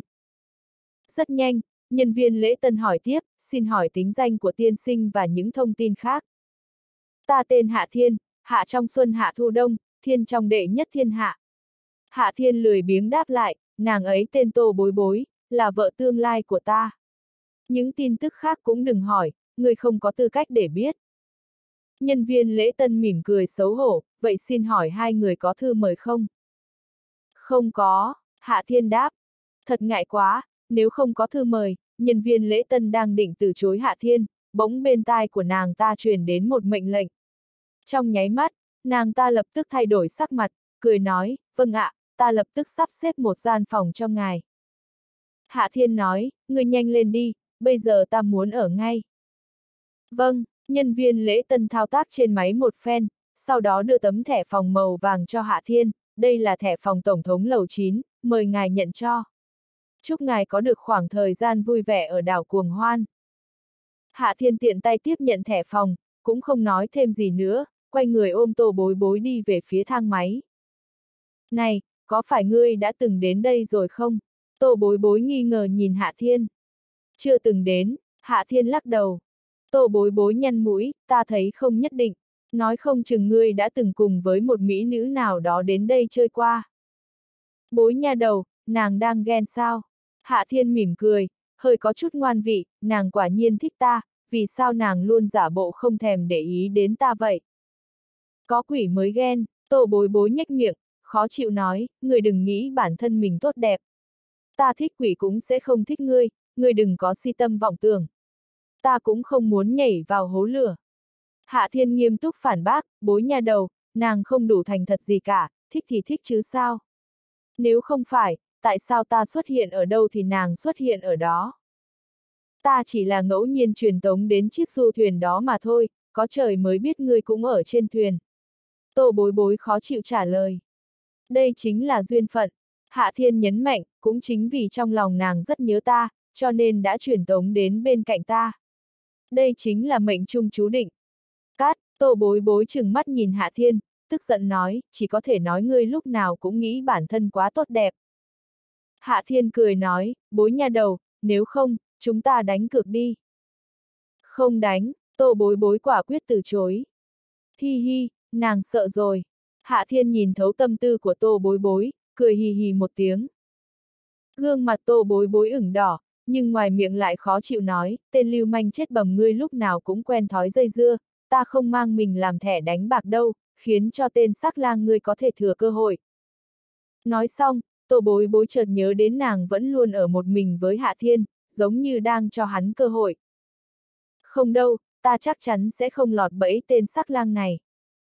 Chị họ mắc lừa là do tỷ ấy ngốc, tỷ ấy quá đơn thuần, nhưng còn ta lại nhìn rõ tất cả chiêu thức của tên sắc lang này, làm sao ta có thể trúng chiêu được, ta tuyệt đối sẽ không.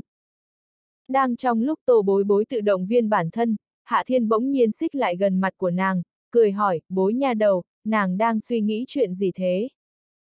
a à, tô bối bối vội vàng thối lui hai bước, cảnh giác nhìn Hạ Thiên, người tiến lại gần như vậy là định làm gì? Không làm gì cả, Hạ Thiên đưa tay chỉ, đã đến nơi rồi, ta thấy nàng cứ đứng thất thần ra đó, cho nên quan tâm hỏi một câu thôi. Tô bối bối đưa mắt nhìn, thang máy đúng là đã đến lầu 9. Đến rồi thì ra ngoài chứ sao? Tô bối bối nhìn Hạ Thiên, ta thấy người muốn mượn cơ hội chiếm tiện nghi của ta thì có.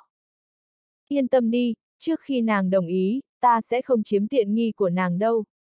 Hạ Thiên nghiêm túc nói, tay cũng rất tự nhiên ôm lấy cái eo nhỏ nhắn của tô bối bối.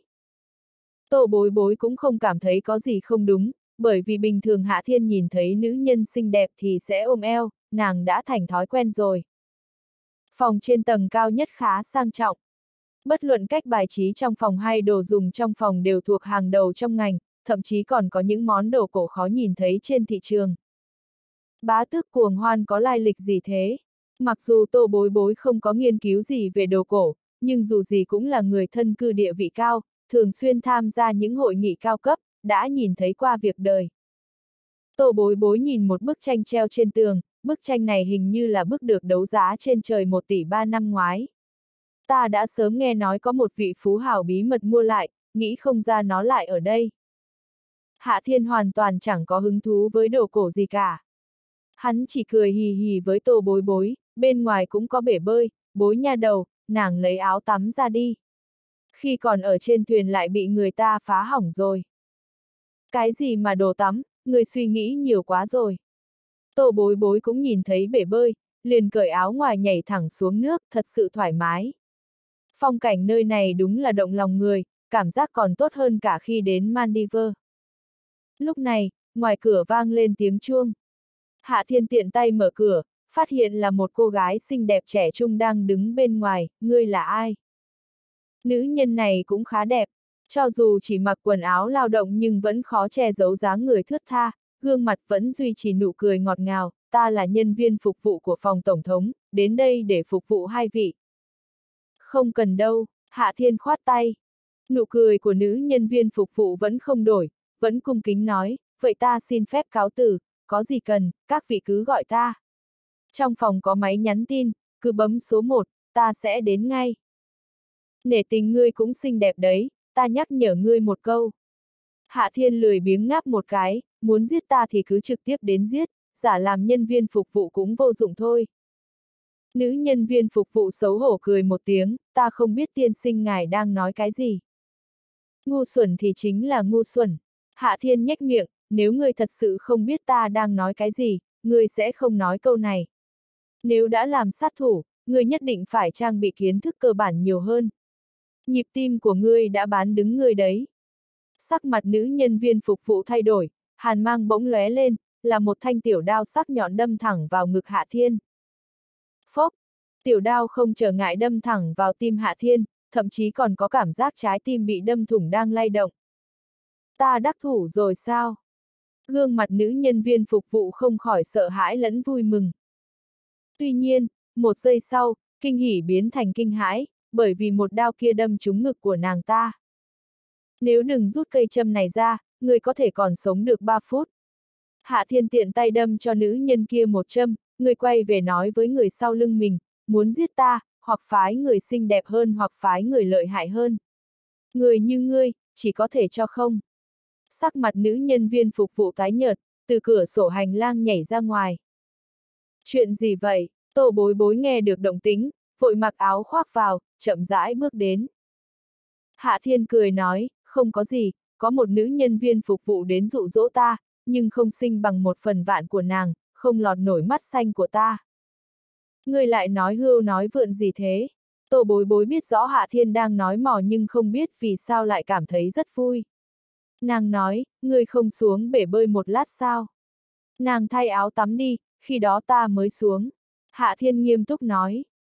Ngươi không xuống cũng được. Tô bối bối lườm hắn một cái, cởi áo khoác, bên trong chính là áo tắm liền thân, sau đó nhảy vào trong bể bơi lần nữa. Ánh mắt Hạ Thiên sáng lên, a, à, bộ áo tắm này của nàng nhìn không tệ. Mặc nội y dưới nước không được thoải mái. Vừa rồi ta nhìn thấy trong phòng có đồ tắm nên đã thay. Tô bối bối nhìn Hạ Thiên, phủi sạch, chuyện này chẳng có liên quan gì đến ngươi. Hạ Thiên khinh thường lời nói của tô bối bối. Chỉ cần có thể nhìn nàng mặc đồ tắm, lý do gì cũng không quan trọng. Ta có cảm giác có người đang nhìn bên này. Tô bối bối chậm rãi nói.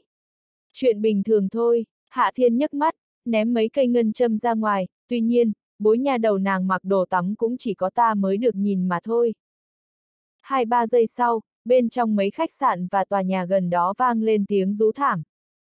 Tốt bụng nhỉ, tô bối bối hử lạnh một tiếng, dường như cũng không cảm kích. Không bao lâu sau, lại có tiếng chuông cửa vang lên. Ai vậy? Tô bối bối hỏi. Hạ thiên tùy ý đáp, không cần để ý. Nhưng tiếng chuông vẫn vang lên như cũ. Được rồi, để ta ra ngoài mở cửa. Tô bối bối rũ nước cho sạch, khoác áo khoác vào, chậm rãi bước đến mở cửa. Ngoài cửa là hai người xa lạ, một nam một nữ. Các ngươi là ai? Tô bối bối hỏi. Một nam một nữ bỗng dưng liếc nhìn nhau, sau đó nói, chúng ta là thành viên của ám ảnh đoàn. Chúng ta thấy tiêu ký đoàn trưởng để lại, cho nên cố tình đến đây. Vào đi, tô bối bối cũng không cảm thấy ngoài ý muốn. Nếu là người của ám ảnh đoàn, đó chính là người một nhà. Hạ Thiên vẫn ngâm mình trong bể bơi, lim dim mắt.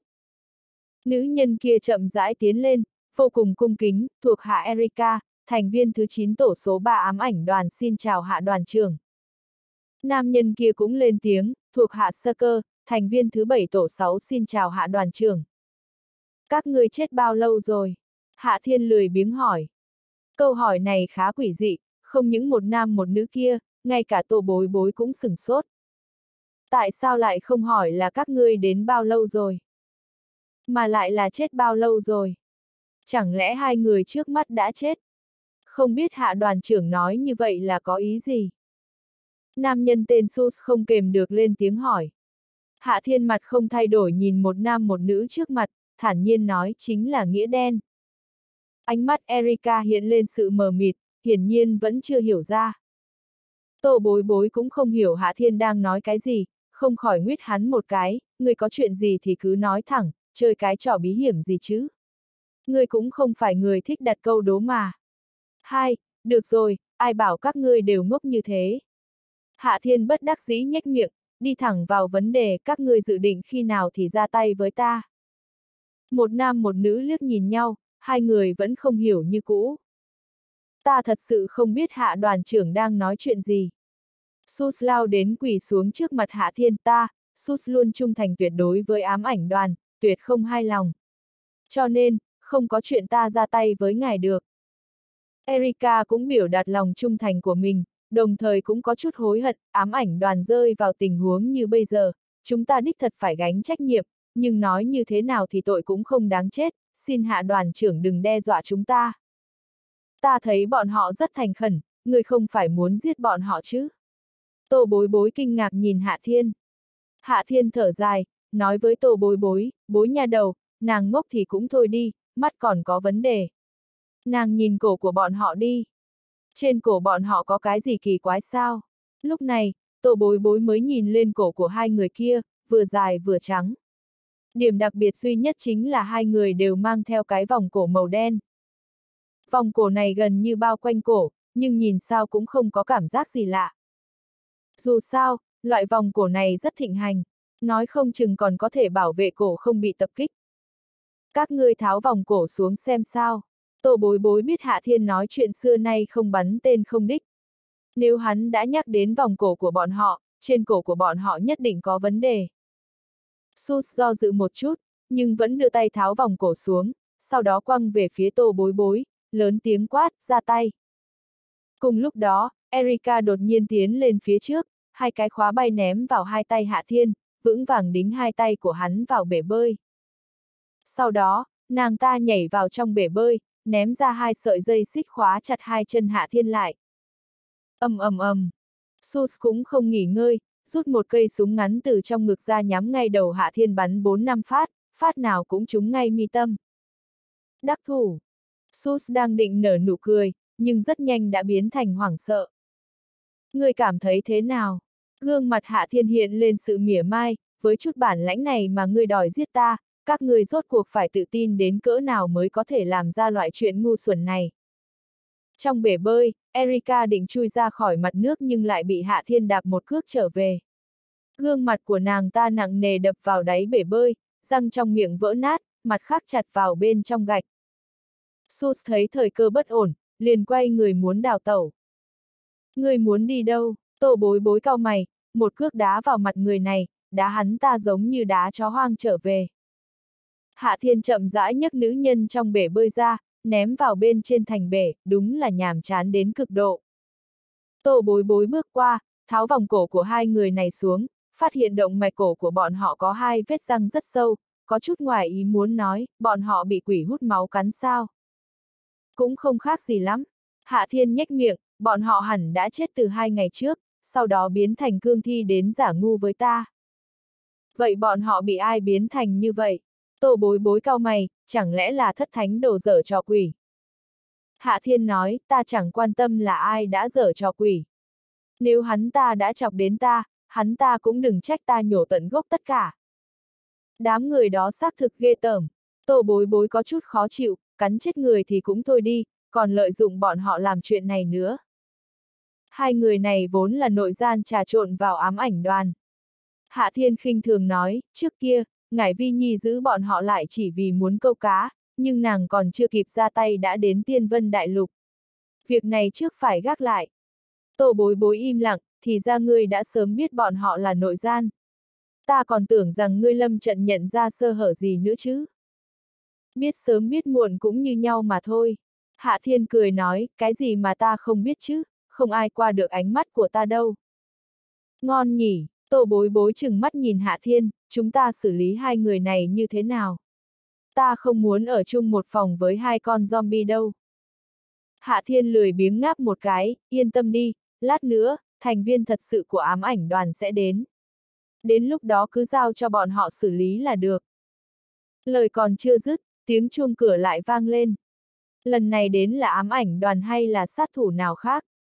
Tô bối bối bước ra mở cửa, sau đó nháy mắt với Hạ Thiên. Hạ Thiên thuận miệng nói, nàng mở cửa ra chẳng phải sẽ biết sao. Nếu ta mở cửa nhưng vẫn không biết thì sao? Tô bối bối hỏi lại.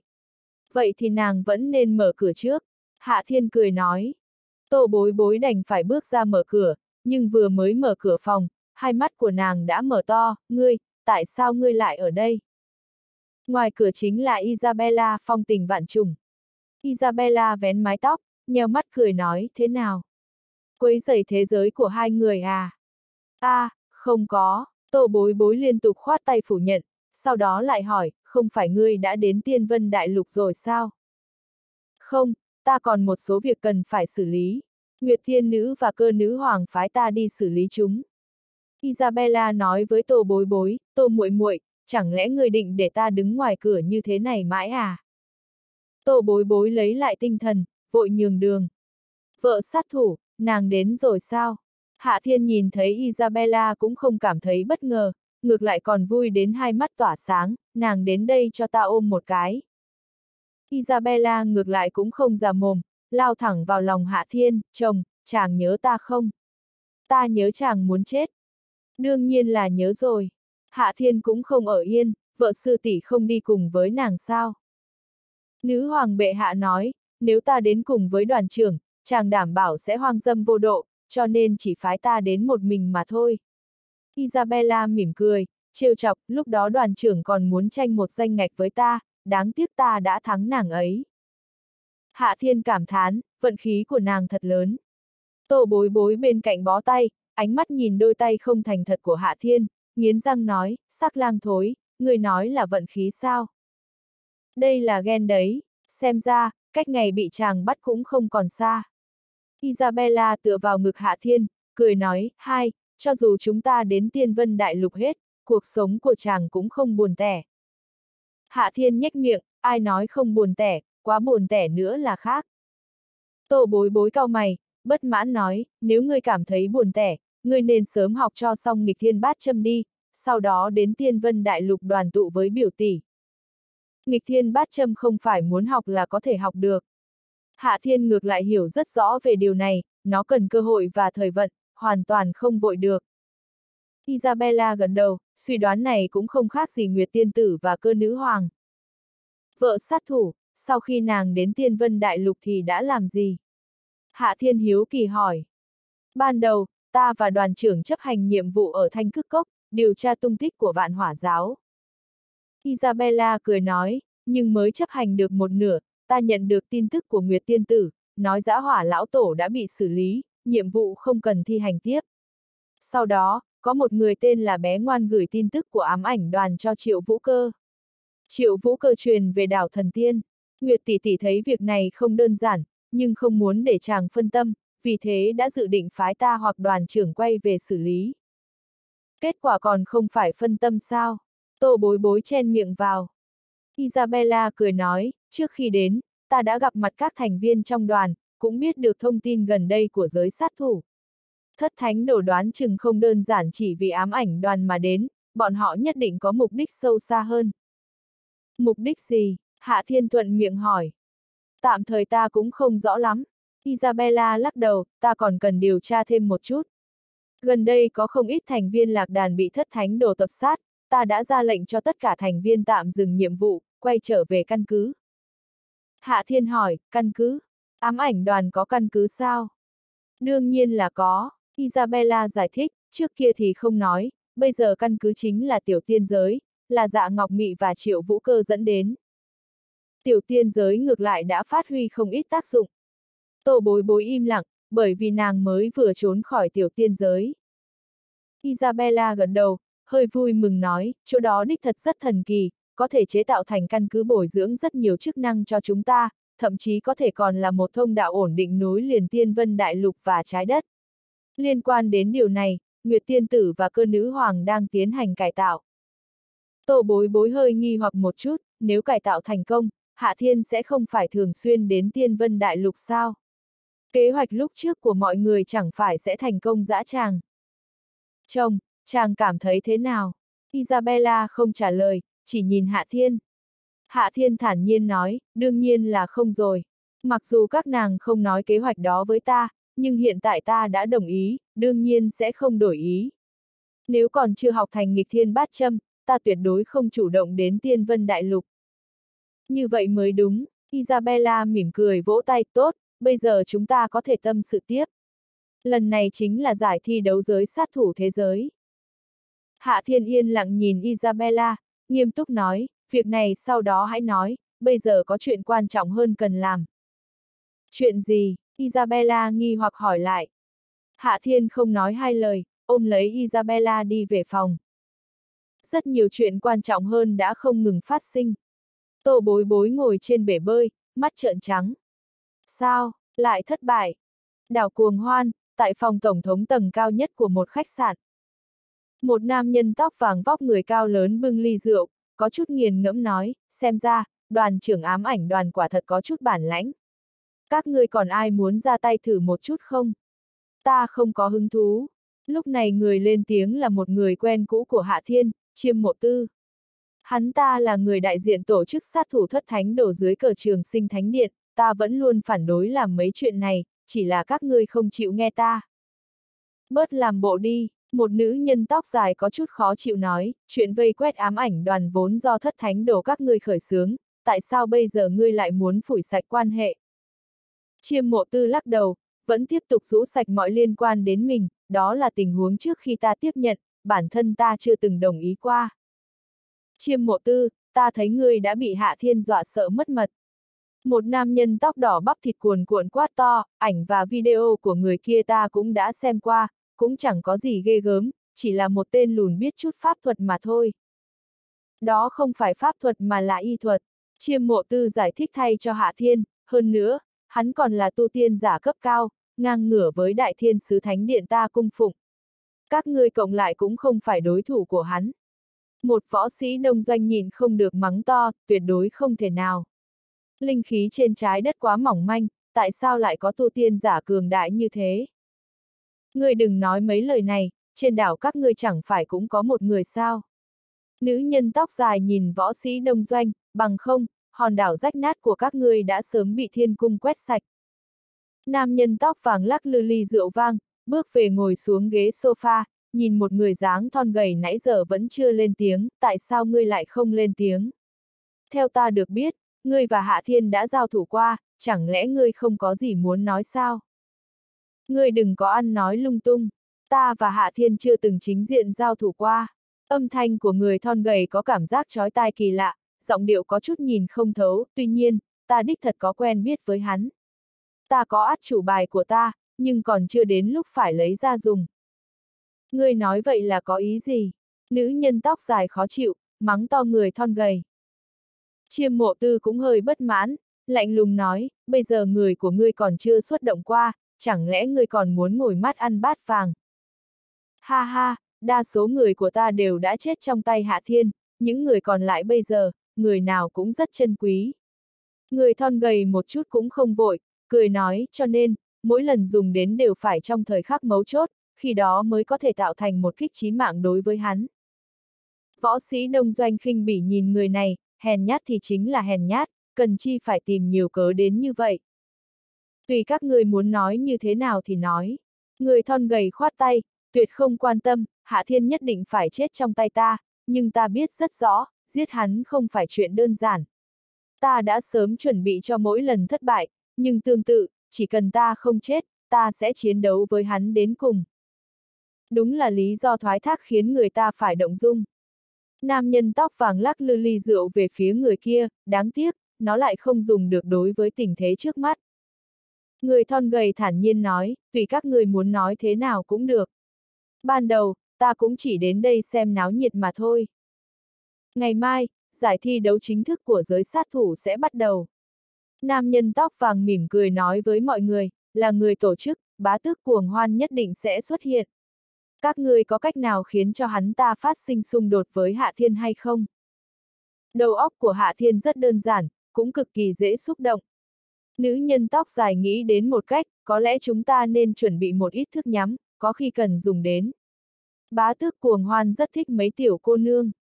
Nam nhân tóc đỏ chen vào nói, chính là tiểu cô nương của tổ chức thiên kiêu mà các ngươi đã bắt cóc.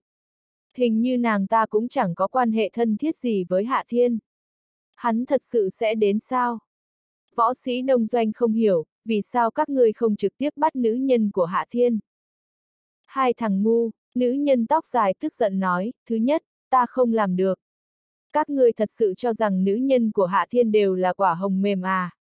Thứ hai, nếu bắt nữ nhân của Hạ Thiên, hắn sẽ trực tiếp đến tiêu diệt chúng ta, hoàn toàn không cho chúng ta thời gian để di chuyển cừu hận, hiểu chưa? Nam nhân tóc vàng gật đầu, chúng ta có thể thử một chút. Cho dù mất linh, chúng ta cũng chẳng có gì tổn thất. Mục đích liên hợp lần này của chúng ta chỉ có hai, một là xử lý Hạ Thiên, diệt trừ ám ảnh đoàn, hai là xử lý bá tước cuồng hoan, chiếm đoạt đảo cuồng hoan. Nếu có thể khiến cho hai người này đấu nhau, chúng ta ngồi không ngư ông đắc lợi, vậy thì không còn gì tốt hơn rồi. Nam nhân tóc đỏ bỗng nhiên mỉm cười, nếu ta nhớ không lầm, bá tước cuồng hoan hình như có một đứa con trai, là một sắc quỷ 100%.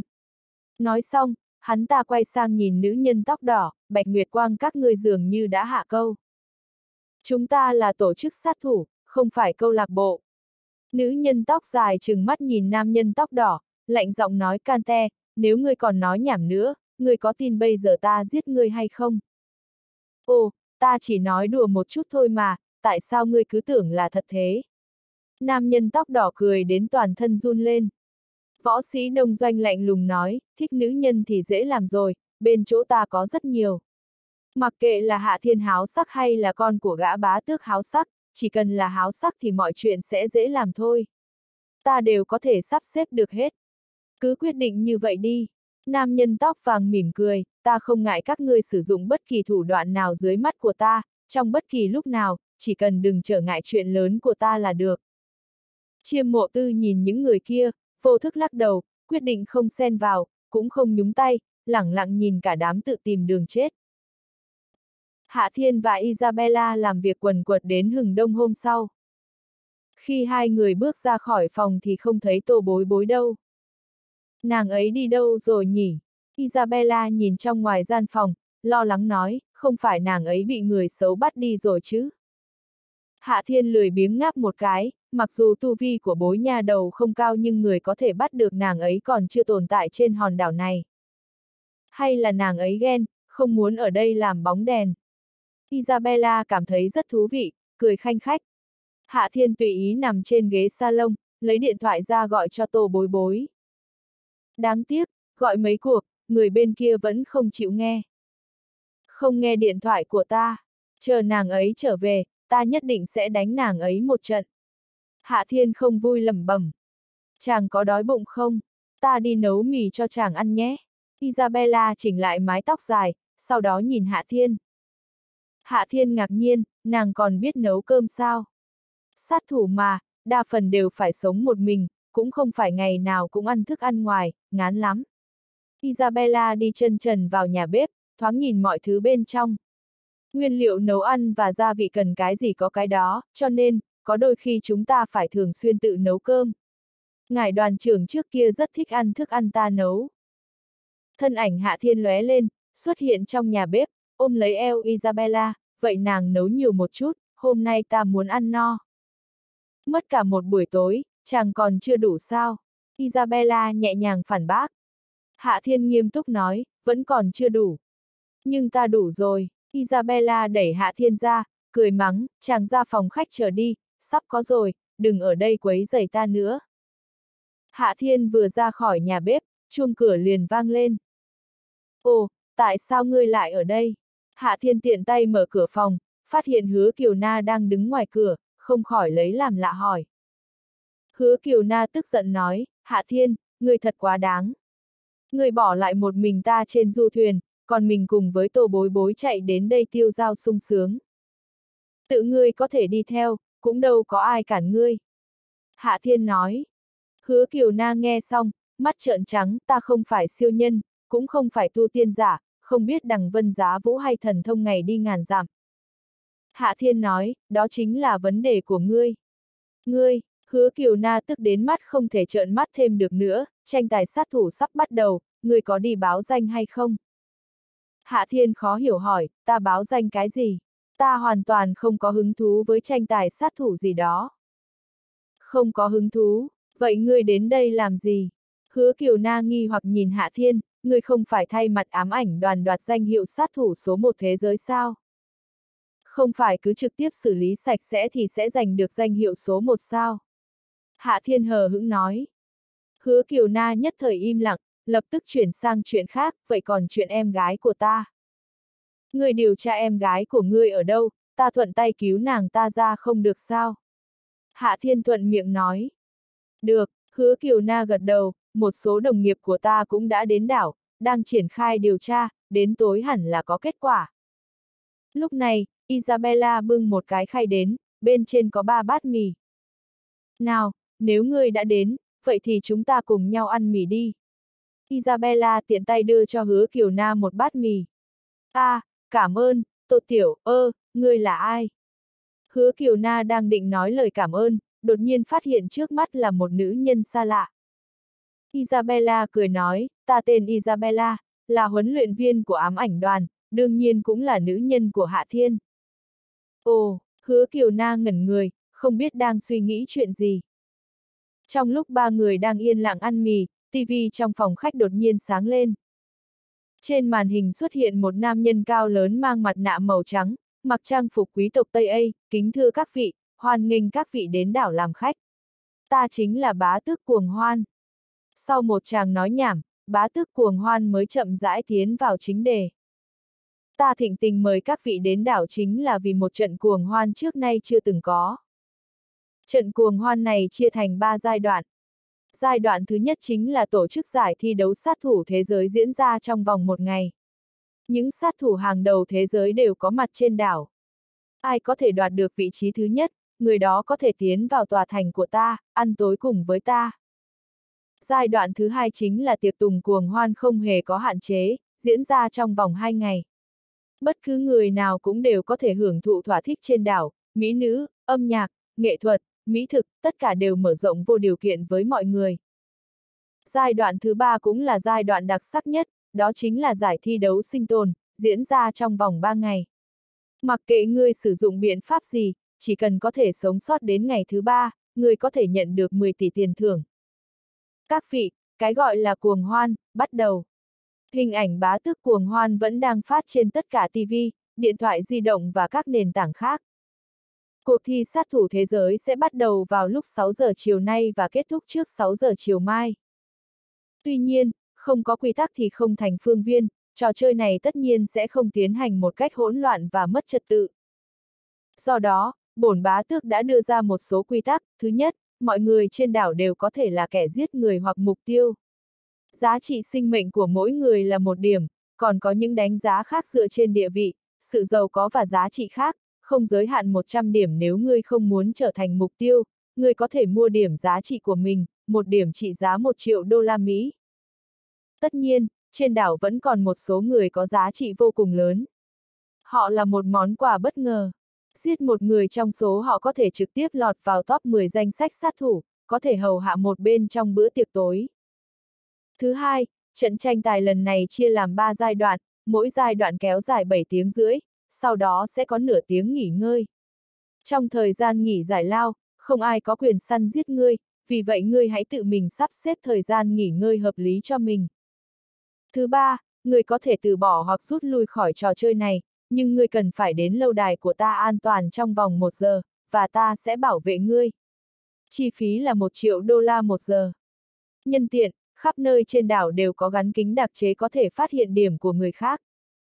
Xế chiều mai, sau khi cuộc tranh tài kết thúc, chúng ta sẽ căn cứ vào điểm tích lũy mà tiến hành xếp hạng. Hạng nhất có thể ăn tối với ta, hơn nữa còn có một món quà tuyệt đối bất ngờ.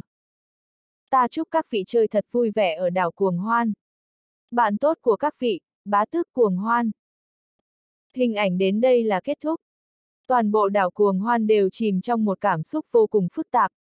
Có người lo lắng, có người hoảng sợ không chừng, có người hưng phấn vô cùng, có người mừng rỡ như điên. Ba người Hạ Thiên ngược lại không có phản ứng gì đặc biệt, vẫn chậm rãi ăn mì như cũ. Tên bá tước này đang dở trò quỷ gì thế? Hứa Kiều Na là người không giữ được bình tĩnh đầu tiên. Nàng kinh ngạc nói, hắn ta muốn kích động người trên đảo săn giết nhau sao? Hắn ta đang xem mạng người như cỏ rác, hắn ta cho rằng hắn ta là ai, là thần sao? Isabella thản nhiên nói, cái này cùng lắm chỉ được xem là đồ biến thái, chẳng có liên quan gì đến thần. Vậy chúng ta nên làm gì bây giờ? Hứa Kiều Na không biết ứng đối như thế nào, trực tiếp đến tòa thành của bá tước cuồng hoan sao. Ta khuyên người tốt nhất đừng nên đi, Isabella cười nhạo, ở đó mới là chỗ nguy hiểm nhất, tối thiểu đang có mười mấy tổ chức sát thủ khác đang đợi người đến. Hứa Kiều Na cảm thán nói, quả thật là hải ngoại, vô pháp vô thiên. Mắt kính mà hắn ta nói ở đâu? Isabella bỗng nhiên hiếu kỳ nhìn gian phòng, sau đó lấy từ trong ngăn kéo ra mấy chiếc mắt kính đặc chế, thứ này có chút giống với Long Châu. Để ta xem hai người được mấy điểm. Ngươi nói vậy là có ý gì? Hứa Kiều Na cảnh giác nhìn Isabella, cảm thấy lo lắng không biết nữ nhân này có thể lợi dụng nàng cho màn biểu diễn của mình hay không. Isabella đeo mắt kính lên, đầu tiên là nhắm ngay hứa Kiều Na. Trên mắt kính quả nhiên hiện ra một số số liệu A, à, xem ra ngươi chính là một tiểu phú bà, có những 11 điểm, một điểm nhân mạng, 10 điểm còn lại là đánh giá tài sản của ngươi. Ngươi nói bậy, hứa Kiều Na khoanh tay trước người, lạnh giọng nói, làm sao bá tước cuồng hoan lại biết tài sản của tất cả người trên đảo. Ta thấy hắn ta đang cố lộng huyền hư thì có. Hạ thiên lười biếng nói, hắn ta không cần biết. Đúng vậy, hắn ta đã nói, đây chỉ là một sự đánh giá giá trị. Isabella đeo mắt kính nhìn Hạ Thiên, không khỏi mỉm cười, chồng, xem ra chàng chính là món quà bất ngờ kia. Nếu không, để ta mang chàng đến tòa thành dự tiệc tối. Hứa Kiều Na có chút không nói nổi, có thể đoán được, không bao lâu nữa, trên đảo sẽ vang lên tiếng chém giết. Các ngươi còn có thể trêu đùa nhau ở đây. Đám người kia lên đảo, bọn họ có tâm tư gì, thật ra không cần nói cũng biết. Isabella khẽ cười, giọng điệu mỉa mai, hoặc là dân cờ bạc. Đám người này chính là cầu phú quý trong cái chết, hoặc mấy người nhiều tiền đến đây để đốt tiền tìm cảm giác kích thích, dùng tiền để vượt qua những thứ có liên quan. Những người còn lại, ngoại trừ sát thủ thì chỉ là những người bình thường bị trói để làm điểm. Isabella nói tiếp, sát thủ chân chính chướng mắt một hai điểm, cũng không thèm kéo dài tranh lệch. Cho nên, thật ra bọn họ mới là người an toàn. Chiếu theo lời ngươi nói, vậy thì không có kẻ nguy hiểm rồi. Hứa Kiều Na hừ lạnh một tiếng, hiển nhiên khinh thường suy đoán của Isabella. Isabella mỉm cười, chỉ vào hứa Kiều Na, chẳng lẽ ngươi không phát hiện được người như ngươi là người nguy hiểm nhất sao? Ngươi nói vậy là có ý gì? Hứa Kiều Na nghi ngờ hỏi, sau đó biến sắc, hiểu ra. Đám phú hào bậc nhất hoàn toàn không quan tâm đến tiền, trực tiếp bỏ ra 100 triệu đô la là có thể mua được một chỗ an toàn, sau đó vui vẻ ngồi xem vở kịch này. Sát thủ đỉnh cao cũng rất vui. Đây là cơ hội tuyệt thế giúp bọn họ dương danh lập vạn. Người thấp điểm nhất lại càng không cần quan tâm, bởi vì bọn họ ai cũng không chống cự được, điểm lại thấp, không có gì để mắt đến bọn họ. Cho nên, nguy hiểm nhất là ai? Đương nhiên là loại người như hứa kiều na, người có chút tiền. Tiền của bọn họ không đủ mua an toàn, cho dù tiền có đủ cũng không lấy ra hết. Đám người này trong mắt sát thủ cao cấp chính là những bình tích điểm đi bộ. Vậy còn ngươi, ta không tin ngươi có thể an toàn. Hứa Kiều Na bất mãn nói với Isabella. Isabella tựa vào ngực Hạ Thiên, cười nói, cho dù ta thật sự gặp nguy hiểm, cũng chẳng sao, bởi vì ta có chồng của ta bảo vệ, người có ai bảo vệ chứ? Cái này, hứa Kiều Na hoàn toàn bó tay, đưa mắt nhìn Hạ Thiên, này, Hạ Thiên, người hẳn sẽ không trơ mắt nhìn ta bị sát thủ nhảy ra xử lý chứ. Hạ Thiên lười biếng nói, nói thế nào ngươi cũng là bạn của Thanh Thanh nha đầu, chỉ cần ngươi đừng rời khỏi tầm mắt của ta, ta có thể cam đoan ngươi không có việc gì. Vậy là tốt rồi, hứa Kiều Na thở phào một hơi, nàng cho rằng, còn lâu nàng mới nghĩ đến việc rời đi. Đúng rồi, tô bối bối còn đang ở bên ngoài, chàng có muốn đi tìm nàng ấy không? Isabella hỏi.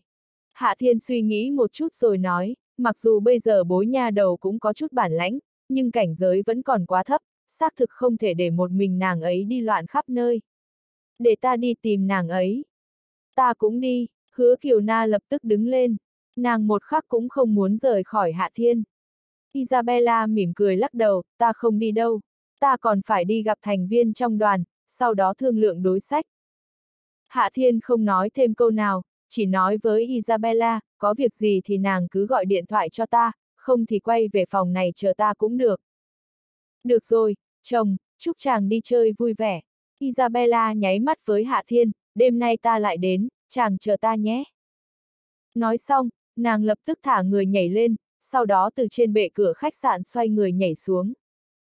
Đây chính là lầu 9 đấy, a. À, hứa Kiều Na chạy đến ban công, kết quả nhìn thấy Isabella đang bay lên giữa không trung, thậm chí còn chuyển hướng, không khỏi quay lại nhìn Hạ Thiên, trong số các nữ nhân của ngươi rốt cuộc có ai là nhân loại bình thường không vậy?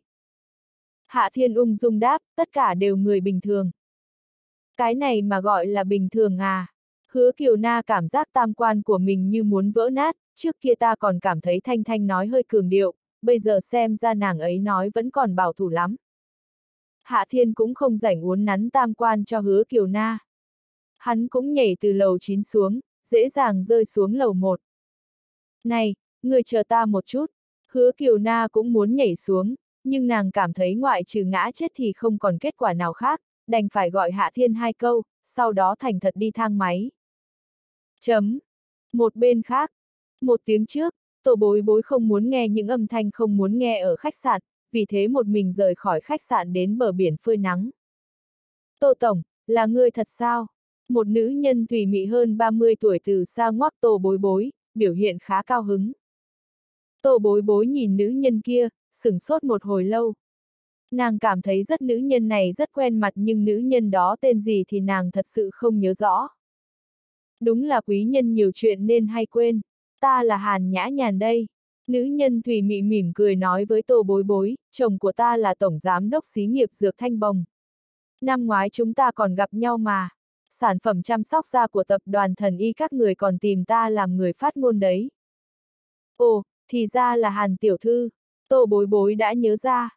Năm ngoái, để quảng bá sản phẩm mới của tập đoàn thần y ở thành phố Thiên Nam, bọn họ đích thật đã mời một số minh tinh bản xứ làm người phát ngôn. Nữ nhân kia chính là một trong số đó, chỉ là không nghĩ đến lại có thể gặp ở đây. Hàn tiểu thư hưng phấn dị thường, cười nói, người cũng đến nghỉ ngơi sao? À, cứ xem là thế đi. Tô bối bối không biết tại sao nữ nhân này lại xuất hiện ở đảo Cuồng Hoan, Ngươi và chồng mình đến đây nghỉ ngơi sao? Hàn tiểu thư bỗng nhiên nhăn nhó, có chút ngượng ngùng nói, ta và chồng đã ly hôn rồi. Bây giờ ta đang đi nghỉ cùng với bạn trai của mình, Howard. Lúc này, tổ bối bối mới nhìn thấy một nam nhân ngoại quốc hơn 40 tuổi đi theo sau lưng hàn tiểu thư, nhìn có vẻ rất thành thục, ổn trọng. Xin chào, ta tên Howard, ta rất vui khi được làm quen với ngươi. Khi Howard nhìn thấy tổ bối bối, ánh mắt không khỏi sáng lên, mỉm cười đưa tay ra. Tổ bối bối không thèm để ý đến hắn ta, chỉ thản nhiên nói, xin lỗi, ngươi đừng nên vui mừng gì hết, ta không muốn làm quen với ngươi. Ok, Howard nhún vai, thu tay về ôm đầu Hàn Tiểu Thư hôn một cái, Hani, ta không quấy rầy nàng nói chuyện với bạn của mình nữa. Nói xong, hắn ta quay người rời đi. Tô Tổng, vừa rồi ngươi không nên mất lịch sự như vậy. Hàn Tiểu Thư bất mãn nhìn Tô Bối Bối, hắn ta tức giận rồi, ngươi nên xin lỗi hắn ta một tiếng. Tô Bối Bối im lặng, ta và ngươi quen nhau sao? Ban trai ngươi tức giận thì liên quan gì đến ta? Được rồi, Hàn tiểu thư rất nhanh khoát tay, ai bảo chúng ta đều là người tha hương chứ? Nể mặt chúng ta đều là người trong nước, ta có lòng tốt muốn nhắc nhở ngươi một câu. Tô bối bối nhịn không được liền khuyên, tâm tư của bạn trai ngươi bất chính, ngươi tốt nhất nên cẩn thận một chút. Hàn tiểu thư cao mày, không vui nhìn tô bối bối, tô tổng, tại sao ngươi lại như thế chứ? Nói xong, nàng ta lại hừ lạnh một tiếng rồi quay người rời đi. Từ một nơi xa, tại một chỗ hẻo lánh, Howard vừa mới rời đi ánh mắt tràn ngập dâm tà, phát ra mệnh lệnh, đã phát hiện một cực phẩm, lập tức hành động, nhất định phải bắt cho được nàng ta. Audio điện tử võ tấn bền Hết tập 159